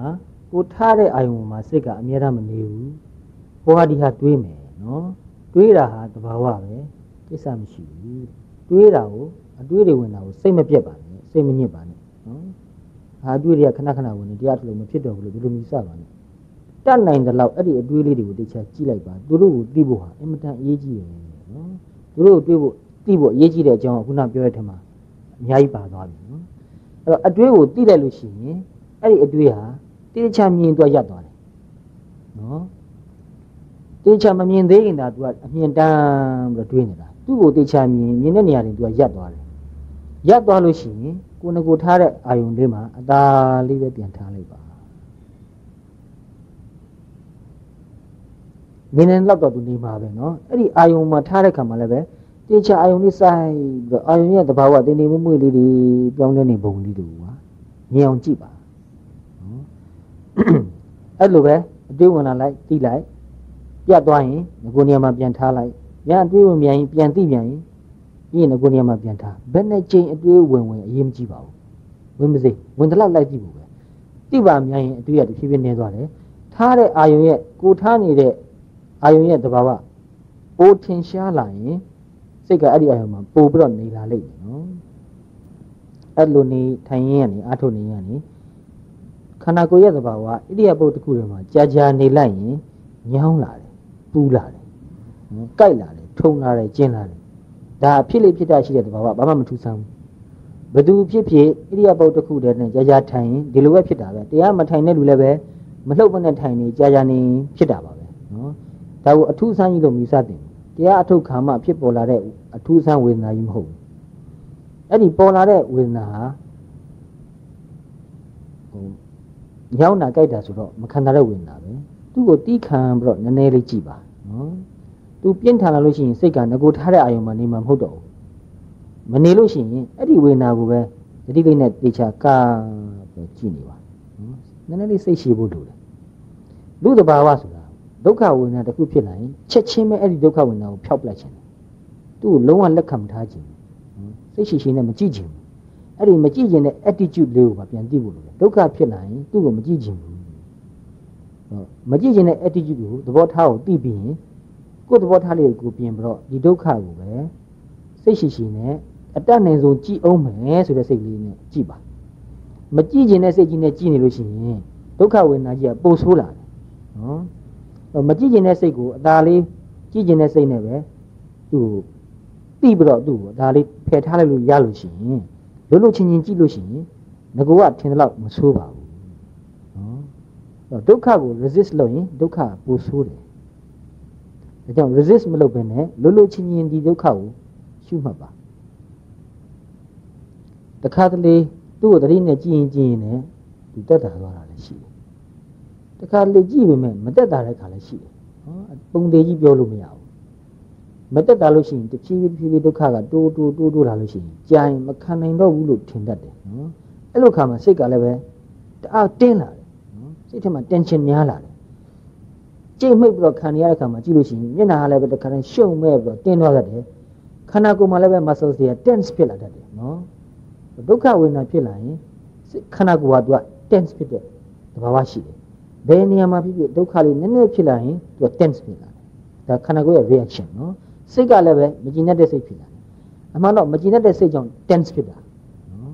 အဲ့ဒီမကျင်တဲ့စိတ်ကိုသိပြီးတော့အသာဟိနေလို့ရှိရင်နာတဲ့ဝေဒနာရှိပေမဲ့စိတ်ထဲမှာ tension မရှိဘူးခန္ဓာကိုယ်ထဲမှာ tension ဖြစ်မလာဘူးသိနေလို့ရှိရင်ပြောတာနော်အကယ်၍စိတ်ထဲမှာ tense ဖြစ်လာမယ်တင်းလာမယ်ခန္ဓာကိုယ်ထဲမှာလည်းပဲတင်းလာမယ်ဆိုရင် အရင်ဆုံးအဲ့ဒီစိတ်ထဲမှာတင်းနေတာခန္ဓာကိုယ်ထဲမှာတင်းနေတာကိုတေချာလေးကြည့်ပါ tension ကဒုက္ခကိုပို့ပြီးကြီးမားစေတယ် tension ကဒေါမနတာကိုပို့ပြီးဖြစ်စေတယ်နော်စိတ်ထဲမှာမကျဉ်းနှံ့မှုပို့ပြီးဖြစ်စေတယ်နော်အဲ့ဒီစိတ်ထဲမှာ tension မရှိဘူးခန္ဓာကိုယ်မှာ tension မရှိဘူးဆိုရင်ဖြစ်နေတဲ့ဝေဒနာကိုကြည့်ရတဲ့အခါမှာငကိုယ်တော့အလောက်မဆိုးဘူးပို့ပြီးလည်းစိတ်ဝင်စားစရာကောင်းတယ်နော်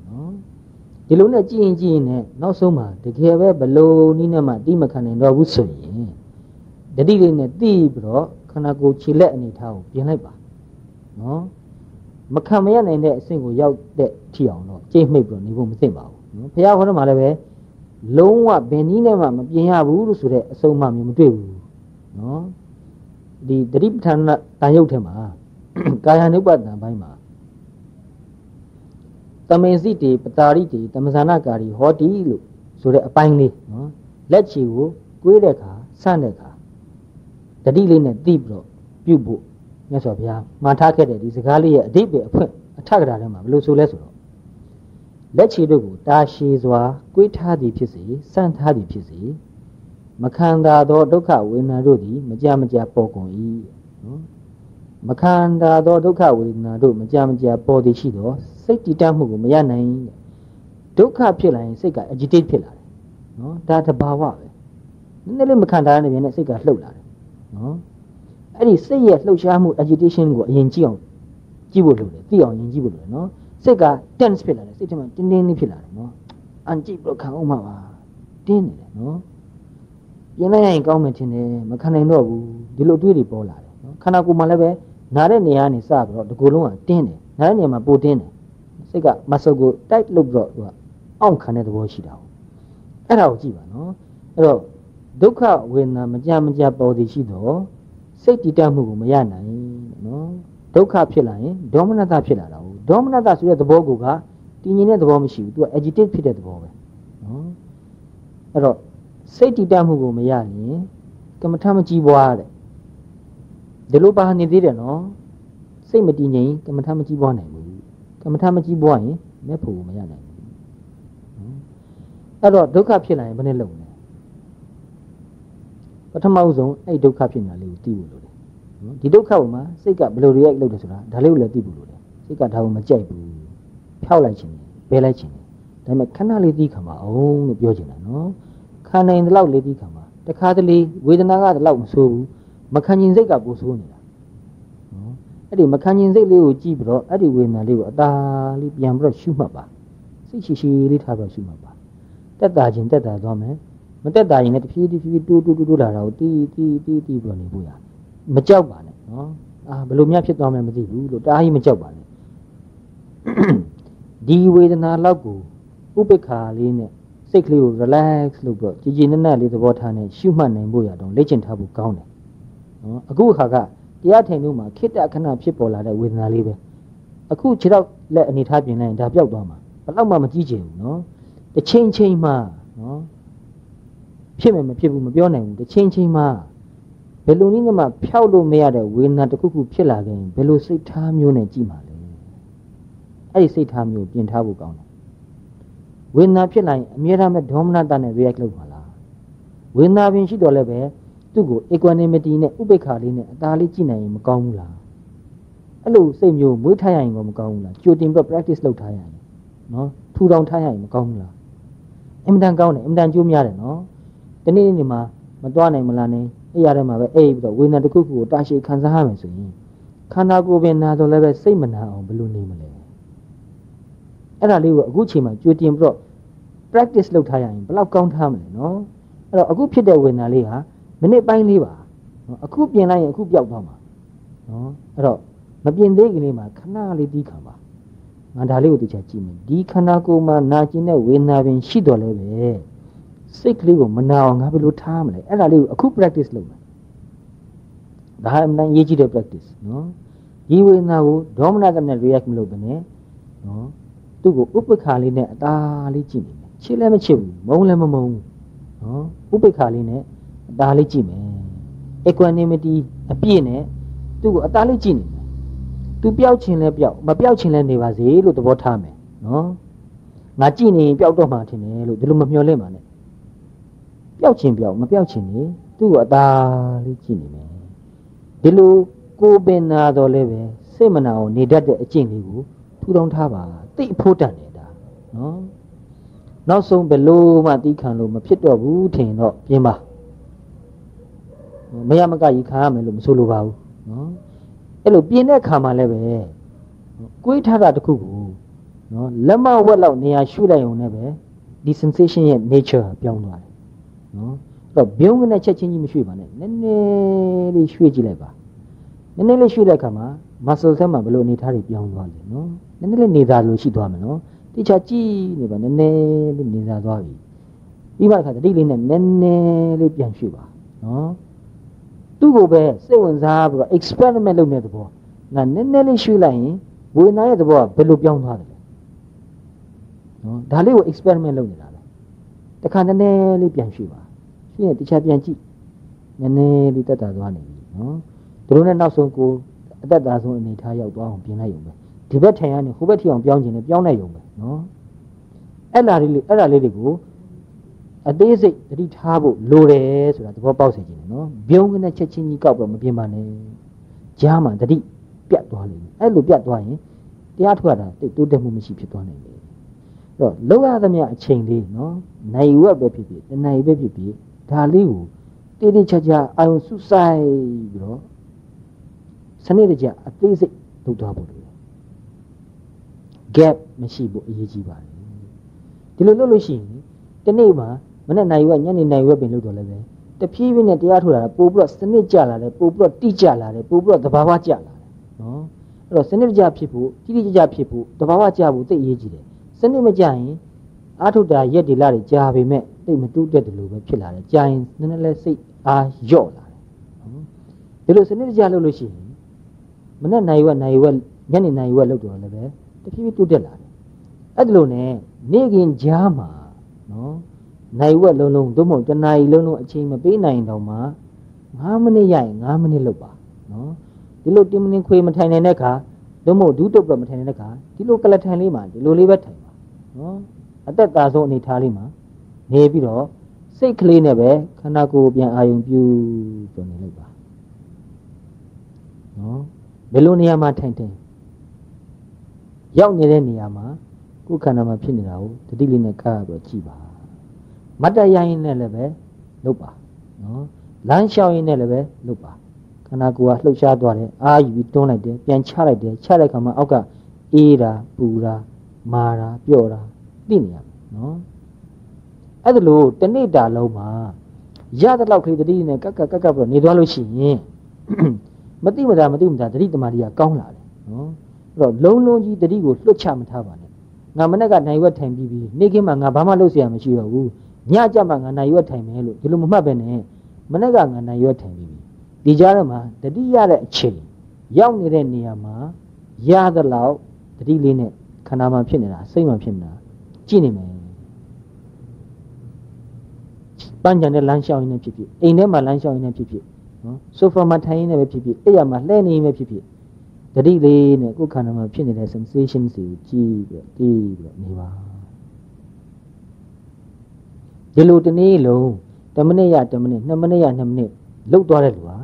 သူကတတိလေးတွေကပို့ပြီးတော့အားကောင်းလာတယ်နော်တတိလွတ်နေတဲ့အချိန်နဲ့တတိရှိနေတဲ့အချိန်ဆိုရင်တဖြည်းဖြည်းတဖြည်းဖြည်းနဲ့တတိရှိနေတဲ့အချိန်ကပဲများများများများလာမယ်နော်အဲ့လိုဆိုရင်ညနေမှာအေးအေးစီးအချိန်ရလို့ထိုင်လိုက်မယ်ဆိုရင်ပို့ပြီးတော့ကောင်းတာတွေ့ရလိမ့်မယ်တနေ့ကုန်လှုပ်ပြစ်ထားပြီးမှညနေကျမှထိုင်မယ်ဆိုရင်တော့ကောင်းဖို့ရတိတ်မျောလင်းချက်မထားပါနဲ့မဖြစ်နိုင်ဘူးနော် ကြောင့်10မိနစ်ရ10မိနစ်2မိနစ်ရ2မိနစ်5မိနစ်ရ5မိနစ်တတိလေးကပ်ပါတော့ဘယ်အချိန်ပဲခံမှဖြစ်ဖြစ်ဘလောက်ပဲတူတောင်းတဲ့ကာလလေးပဲဖြစ်ဖြစ်တိနေတာဟာအင်မတန်အကျိုးများပါတယ်တိနေတာဟာကုသိုလ်ပဲတစ်ချက်တိတိုင်းတိတိုင်းကုသိုလ်တွေအများကြီးဖြစ်တယ်တတိဒီကုသိုလ်အဲ့တတိဆိုတဲ့ကုသိုလ်ဟာတာမန်ကုသိုလ်ထက်တော့ပိုပြီးအားကြီးတယ်နော်အပမတော်တေတံဓမ္မနံအကမခါယတိလို့ဖျောက်ထားတာရှိတယ်နော်တခြားတခြားကုသိုလ်တွေထက် ဒီမမိတ်မမိတ်မလျော့တတိလေးကပ်ပြီးတော့နေတဲ့ကုသိုလ်ကပို့ပြီးတော့အားကြီးတယ်အားကောင်းတယ်သူတို့ရဲ့ထိတ်ဆုံးမှနေတာပဲနော်အထွတ်အထိပ်ဖြစ်တဲ့ကုသိုလ်ပဲနော်ဒါနကုသိုလ်ဓမ္မကြီးတို့ကုသိုလ်မနှဲပါဘူးခုနပဲပြောတယ်ဘုရားအတွက်လှူတယ်တိမ်အတွက်လှူတယ်ကထိန်အတွက်လှူတယ်အများကြီးလှူတယ်နော်ဒါနကုသိုလ်အင်တန်ကောင်းပါတယ်လုပ်ပါရှေ့ဆက်လည်းလုပ်ပါတိလကုသိုလ်ခုန၅ပါးတိလစောက်တည်တယ်အင်မတန်ကောင်းပါတယ်၅ပါးတိလကိုတော့အမြဲတမ်းမြဲမြဲနိုင်ရင်အကောင်းဆုံးပဲနော်အဲဘာဝနာကုသိုလ်မှာ အခုလိုပဲတစ်ချက်ပဲသိရသိရဒီသိရတာကုသိုလ်ဆိုတာလေးကိုသဘောပေါက်ဖို့လိုတယ်ဒါလေးကိုတန်ဖိုးထားဖို့လိုတယ်နော်တစ်စက္ကန့်သိရလဲအကျိုးရှိပါတယ်ဆိုတာလေးကိုဟိုသဘောပေါက်စေချင်တာနော်10မိနစ်သိရရင်နည်းတဲ့ကုသိုလ်မဟုတ်ဘူးဒီအချိန်လေးမှာစိတ်ကလေးတည်တတ်မှုရှိနေတယ်နော်ဒီလိုနဲ့ပဲတတိကအားပိုပိုကောင်းလာတယ်တတိကိုဒီလိုပဲမကြမကြတတိထားတဲ့အကျင့်လုပ်လို့ရှိရင်တတိပိုအားကောင်းလာမယ်အဲ့လိုဆိုတော့ညနေဘက်မှာအေးဆေးထိုင်မယ်ဆိုရင် စိတ်ကပိုပြီးတော့ငြိမ်သက်သွားတယ်နော်တတိရဲ့ frequency များလာအောင်လုပ်ဖို့ရပဲဂျာမှာမေ့သွားတဲ့အချိန်လေးတော့ညှက်ချင်းညှက်မယ်နော်ညှက်ပေမဲ့တိတဲ့အချိန်လေးတွေလည်းတဖြည်းဖြည်းစိတ်စိတ်စိတ်စိတ်လာမယ်အရင်တော့ကတနားရီနှစ်နာရီလောက်မေ့တိမေ့လျော့နေပြီးမှဟာ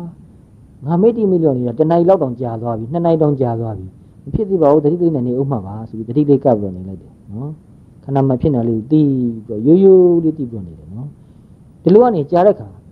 နိုင်ဝက်လောက်ဆိုရင်တစ်ခါတတိရပြီဆိုပါတော့နော်ဒီလိုနဲ့တတိပိုကောင်းလာတဲ့ခါ10မိနစ်လောက်နေရင်တစ်ခါတတိပြန်ဝင်လာပြီ10မိနစ်လောက်မိတ်တိမိလျော်နေဟိုပြောဒီပြောနေရနေဟာတတိမိတ်လျော်နေတယ်တတိလေးထားဦးမှာပါ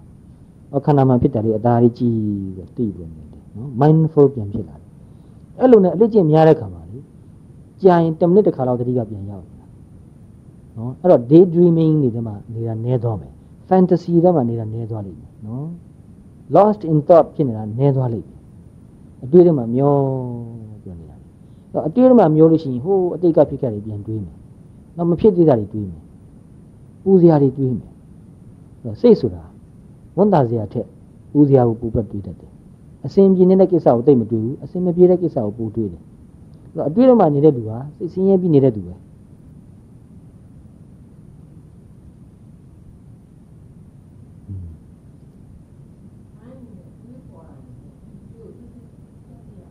တေချာမြင်အောင်ကြည့်လိုက်ပါအဲ့ဒီပေါ်လာတဲ့အတွေ့ကိုတေချာအရင်ကြည့်ဖို့လိုတယ်သူ့ကိုကြည့်တတ်တဲ့အရေးချင်းလေးရလာဖို့လိုတယ်နော်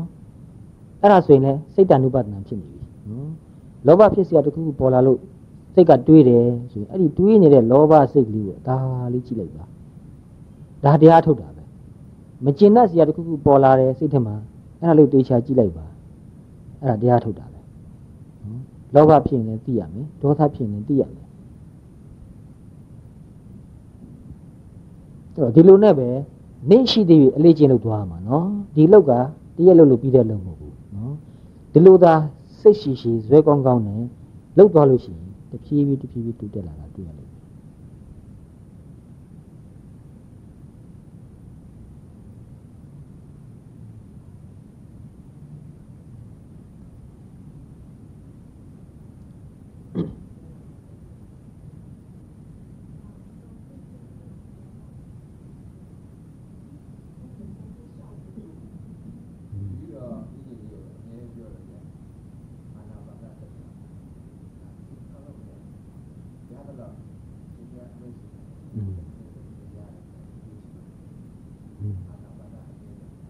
อืม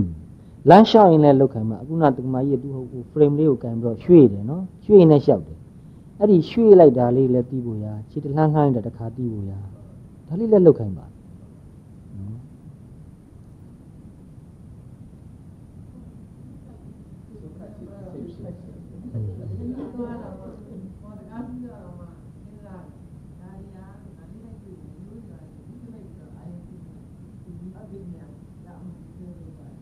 အဲ့ဒါကောင်းတာပေါ့နော်ကိုယ့်ကိုယ်ခန္ဓာကိုယ်အာယုံပြုပြီးတော့ဒါလေးသွားရင်တက်တာသေးတယ်စိတ်ကဟိုရောက်ဒီရောက်ဖြစ်နေတာပင်ပန်းပါလေဒကမာကြီးကိုနောက်တော့မှအဲ့ဒီခွေလေးကိုခဏခဏဖွင့်ပြနော်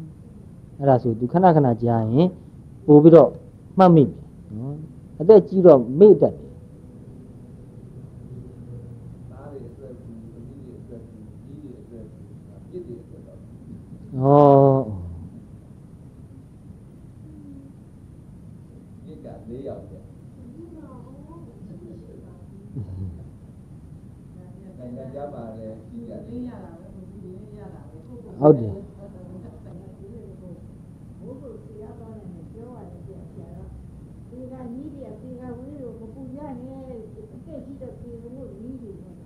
อื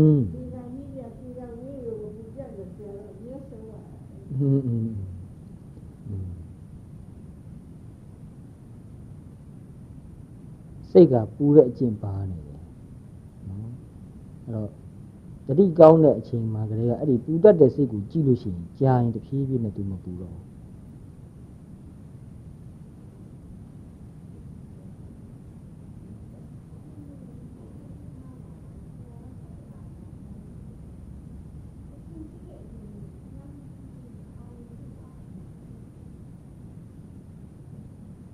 ဘာမေးကျင်တာရှိသေးလဲ မေးတာကိုဖြေရရင်ပိုကောင်းပါလေ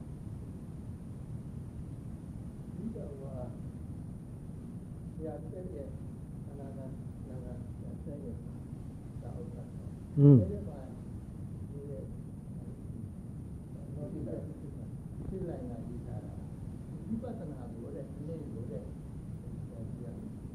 6နိုင်ကနေ7နိုင်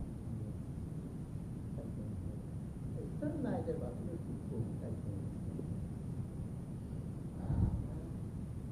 သာဥစ္စာอืมဒီမှာဒီရဲ့တော့ဒီလိုက်ဒီလိုက်လာဒီထားတာသူကတော့သူသူယူဆနဲ့သူပြောတာနော်မြတ်စွာဘုရားရဲ့သဘောအလိုတိုင်းဆိုရင်ဘယ်ခါမှမှ absent minded ဖြစ်ပြီးတော့မနေသင့်ဘူးနော် absent minded ဖြစ်ပြီးတော့နေရဖို့ရအချိန်ကိုကိုယ့်ရဲ့ time schedule ထဲမှာထည့်မထားသင့်ဘူး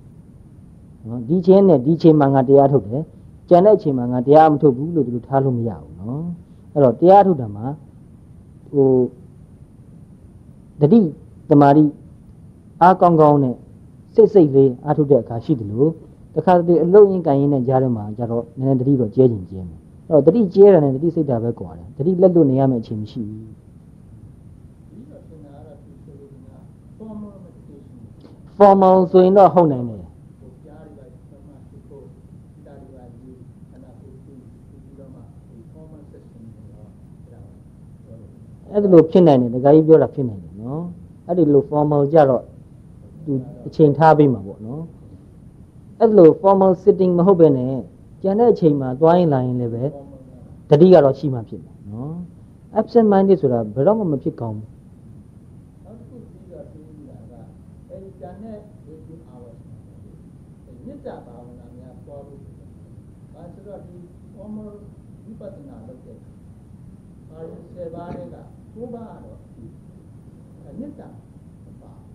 အဲ့တော့မေတ္တာများဟိုလိုတာဘာလို့ဘေးပါဝင်နေတာဟုတ်တယ်ဟိုလားဒါပြီးနောက်ဆက်ပြီးပါဒီရဒီတန်တဲ့အချိန်မှာဘာလို့မေတ္တာသုတ်ဖတ်ပြီးတော့နေရတယ်ဒါမေတ္တာသုတ်ကမှာတော့ဆက်ဆက်ပြန်တာဒါပြောတယ် every waking hour every waking minute မေတ္တာပွားပါတယ်ဟုတ်ဆို formal ဥပဒနာလုပ်တယ်မှာဆက်ရတာဒီက really very concentrated อืม အဲ့ဒီကျန်တဲ့အချိန်မှာမေတ္တာဘာဝနာများပွားဖို့ညာသင်ပေးတယ်မေတ္တာလည်းပွားဖို့တော့အင်တန်တင့်တော်တယ်နော်လူတိုင်းပဲအချိန်ရှိအချိန်ရသလောက်ပေါ့နော်မေတ္တာလေးတော့ပွားဖို့တင့်တယ်အဲ့ဒီတရားကိုအမြဲတမ်းအားထုတ်လာတဲ့လူဟာနော်သူ့စိတ်ကအလိုလိုနေနေပဲလောဘဒေါသနည်းလာတယ်နော်ဒေါမနတနည်းလာတယ်ပို့ပြီးတော့ sensitive ဖြစ်လာတယ်နော်စိတ်ကလေးကနူးညံ့လာတယ်အေးချမ်းလာတယ်အဲ့လိုစိတ်ကလေးနူးညံ့အေးချမ်းလာတဲ့ခါမှာ လူတစ်ယောက်ကိုမြင်လိုက်ရင်အလိုလိုနေမေတ္တာစိတ်ကရှိနေတာစကားလုံးနဲ့မဆိုးဘူးနော်တယောက်ကိုမြင်လိုက်ရင်အလိုလိုနေနဲ့သူ့ကိုချစ်ခင်တဲ့စိတ်လေးစားတဲ့စိတ်လည်းရှိတယ်နော်ချစ်ခင်တဲ့စိတ်လေးစားတဲ့စိတ်ဒုက္ခနည်းစေခြင်းတဲ့စိတ်စိတ်ချမ်းသာကိုယ်ချမ်းသာဖြစ်စေခြင်းတဲ့စိတ်ကသူအလိုအလျောက်ဖြစ်ဖြစ်လာတယ်နော်အဲ့တော့အဲ့ဒါလေးကိုဟိုကိုယ်တိုင်ကြုံမှုတဲ့လူဆိုရင်တော့ပိုသိမယ်တရားကိုတိတိကျကျအားထုတ်လို့ကြာလာတဲ့ခါမှာစိတ်ကနူးညံ့တယ် အေးစေးတယ်ဘသူကိုမြင်လိုက်မြင်လိုက်မြင်လိုက်တဲ့ခါမှာအလိုတယောက်ပဲစိတ်ချမ်းသာကိုချမ်းသာရှိစေခြင်းနဲ့စိတ်ကပေါ်လာတယ်စိတ်ထဲကတော့စကားဆိုးမနေဘူးနော်စိတ်ချမ်းသာပါစေကိုချမ်းသာပါစေလို့ဒီလိုစကားလုံးတော့ဆိုချင်မှဆိုမယ်နော်မဆိုတော့လည်းပဲမြင်လိုက်တဲ့နဲ့အလိုလိုပဲစိတ်ချမ်းသာကိုချမ်းသာရှိရှိစေခြင်းလေဆိုတော့စေတနာလေးကပေါ်လာတယ်ပြောတဲ့ခါမှာလည်းပဲအလိုလိုနေနဲ့စိတ်ဆင်းရဲသွားမဲ့စကားမျိုးကိုမပြောဖြစ်ဘူး သူကပါဇက်ကသာစိတ်ချမ်းသာပါစေလို့ပြောပြီးတော့စိတ်ထဲကတတိမရှိတဲ့လူဟာအမှတ်တမဲ့သူများစိတ်ဆင်းရဲသွားမဲ့စကားမျိုးကိုပြောမိတတ်တယ်နော်။အဲတတိရှိလာတဲ့လူကတခုခုကိုပြောတော့မယ်ဆိုရင်ကိုပဲစိတ်ဆင်းရဲသွားမလားဆိုတဲ့အတွေးနဲ့ဘယ်တော့မှစိတ်ဆင်းရဲမဲ့စကားမျိုးမပြောဖြစ်ဘူး။စိတ်ချမ်းသာမဲ့စကားမျိုးပြောတယ်အကျိုးရှိမဲ့စကားမျိုးကိုပဲပြောသွားတယ်နော်။အကယ်၍ကိုယ့်မျက်စိရှိမှတရားယောက်ကတခုခုအခက်အခဲရှိတယ်ဆိုရင်ဒီတရားအထုတ်လို့စိတ်ဓာတ်ရင့်ကျက်သိမ်မွေ့မြင့်မြတ်လာတဲ့လူကအဲ့ဒီအခက်အခဲကိုလိုလိုချင်းချင်းပဲအကူအညီပေးခြင်း အလိုလိုဖြစ်လာတဲ့စိတ်ထားပြောင်းလဲမှုလေးတွေနော်။တယောက်ကတခုခုပြောတာဆိုတာကိုဟိုမတင်တော်တာမြင်လို့ရှိရင်တတိနဲ့မနေတဲ့လူတရားအထုတ်လူဟာချက်ချင်းစိတ်တူတယ်ချက်ချင်းဒေါသဖြစ်တယ်နော်တတိနဲ့အမြဲတမ်းနေတဲ့လူတရားအမြဲတမ်းအထုတ်နေတဲ့လူဟာတတိကောင်းလာတဲ့ခါမှာတယောက်ကတခုခုပြောတာမတင်တော်လို့ရှိရင်အဲ့ဒီလူကိုချက်ချင်းစိတ်မဆိုးဟော तू ဒါလောက်တာမတင်တော်ဘူးဒါကိုပြောတဲ့ရင်လည်းအေးအေးဆေးဆေးပြောမယ်ဒေါသနဲ့မပြောဘူးအဲ့ဒေါသဆိုတာမေတ္တာရဲ့ဆန့်ကျင်ဘက်နော်အဲ့တတိနဲ့အမြဲတမ်းနေတဲ့လူဟာ ဒေါသအဖြစ်နေတယ်မေတ္တာဟာအလိုလိုပဲစိတ်ထဲမှာရှိနေတယ်နော်ဟောသူတစ်ပါးကိုအထင်သေးမြင်သေးမဖြစ်ဘူးသူတစ်ပါးရဲ့အပြစ်ကိုအလိုလိုနေရင်ခွင့်လို့ပြီးသားဖြစ်တယ်နော်အဲ့ဒီလိုပဲဒီရန်ကုန်မှာရှိတဲ့တရားတော်မှတချို့ပြောတယ်တပည့်တော်အခုစိတ်ဆိုးလို့မရဘူးခင်ဗျာတဲ့စိတ်ဆိုးပြီးမှစိတ်တူပြီးမှအဲ့ဒါကြီးကိုပြန်ထိန်းတာမဟုတ်ဘူးတဲ့အရင်လိုကိုစိတ်ကိုမဆိုးတာအရင်စိတ်ဆိုးတယ်လို့အခုစိတ်မဆိုးဘူးတတိကအများတန်းရှိနေတော့တခုခုအစင်မပြေတာမြင်လို့ရှိရင်လည်းပဲအေးအေးဆေးဆေးပဲတာကိုပြောလိုက်တယ် စိတ်က automatically ဒေါသနဲ့ react မလုပ်ဘူးနော်အဲ့ဒီ automatically ဒေါသနဲ့ react မလုပ်တဲ့လူဟာတတိရှိနေတဲ့အေးချမ်းနေတဲ့သူစိတ်ကငုညံ့နေနော်အဲ့တော့တမင်တကာကြီးအချိန်ယူပြီးတော့မေတ္တာပို့ရတာမဟုတ်ပေမဲ့မကြာခဏဆိုလိုပဲမေတ္တာစိတ်ကပေါ်ပေါ်ပေါ်ပေါ်လာနေတယ်တယောက်ကိုမြင်လိုက်ရင်အလိုအလျောက်မေတ္တာကရုဏာဖြစ်နေပြီသားပဲနော်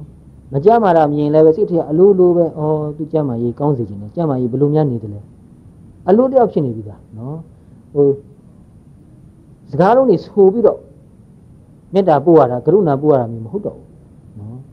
natural ဖြစ်လာတယ်ဟို verbal stick မဟုတ်တော့ဘဲနဲ့ verbal stick ကိုလွန်သွားပြီးတော့နော်တကယ်ကိုမေတ္တာစိတ်ကြီးကပေါ်ပေါ်လာတယ်အဲကြောင့်ဒကာကြီးပြောသလိုဟိုတရားကိုထိတိယအထုတ်လို့အချိန်တိကျပေးပြီးတော့မေတ္တာပို့ရမှာလားဆိုတော့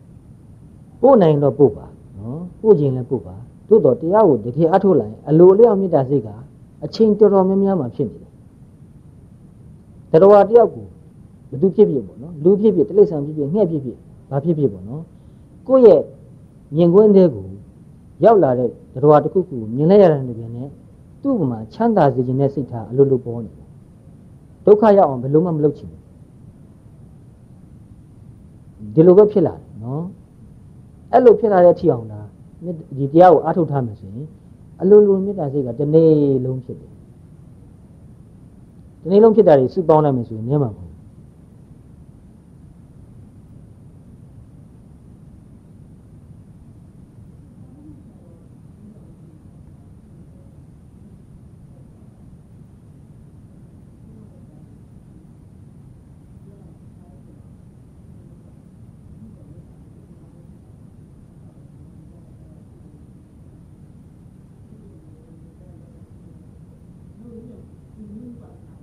อืม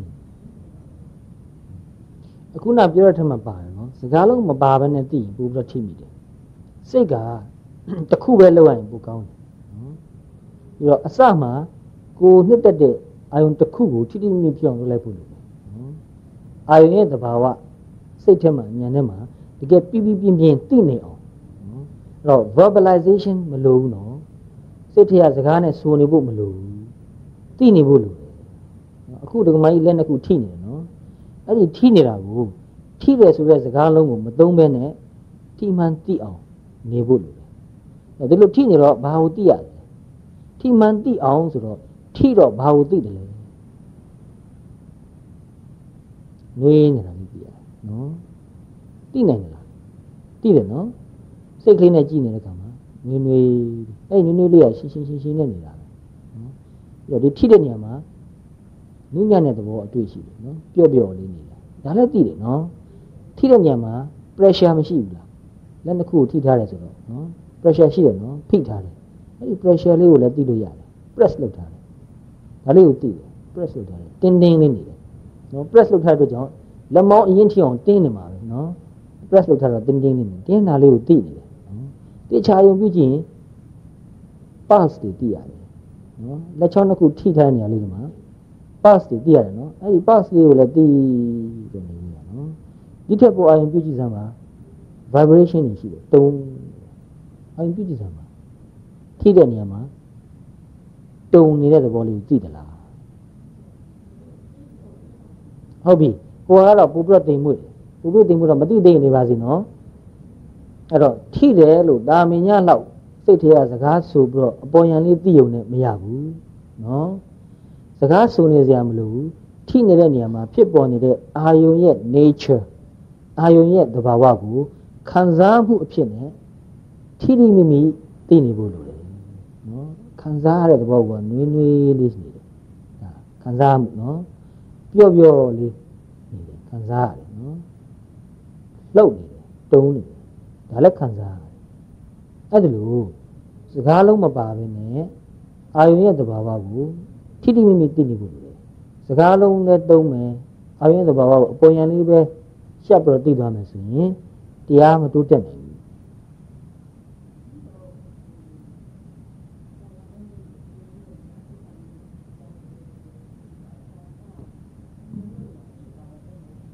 အဲ့လိုတော့ဟုတ်တယ်နော်ဒီအမှုကိစ္စတစ်ခုတည်းမှာ involve ဖြစ်နေချိန်မှာကျန်တဲ့ကိစ္စစိတ်ထဲဝင်မလာဘူးအဲ့တော့စိတ်ကို block လုပ်ထားတဲ့နည်းတနည်းပဲ ဟိုတွေးဒီတွေးဝင်မလာအောင်တားဆီးထားတဲ့နည်းတနည်းဖြစ်သွားမယ်နော်ဒီထက်ပိုပြီးတော့ကြိုးစားပါခန္ဓာရဲ့သဘာဝကိုနည်းနည်းနည်းနည်းတင်တင်မှုမဲ့သိအောင်အဲ့ဒါကပိုရေးကြည့်တယ်နော်အကုသိုလ်မဝင်အောင်တားထားတယ်ဆိုတဲ့ကူကတော်တော်တော့ကောင်းသွားပြီတော်တော်ကိုအကျိုးများပြီစိတ်ကလွတ်ထားလို့ရှိရင်ဟိုတွေ့ဒီတွေ့အလုံးကိုတွေးတာဟုတ်တွေ့ရင်လည်းပဲစိတ်ဆင်းရဲစရာအကုသိုလ်သဘောကိုပဲရောက်ဖို့ရများတယ်နော်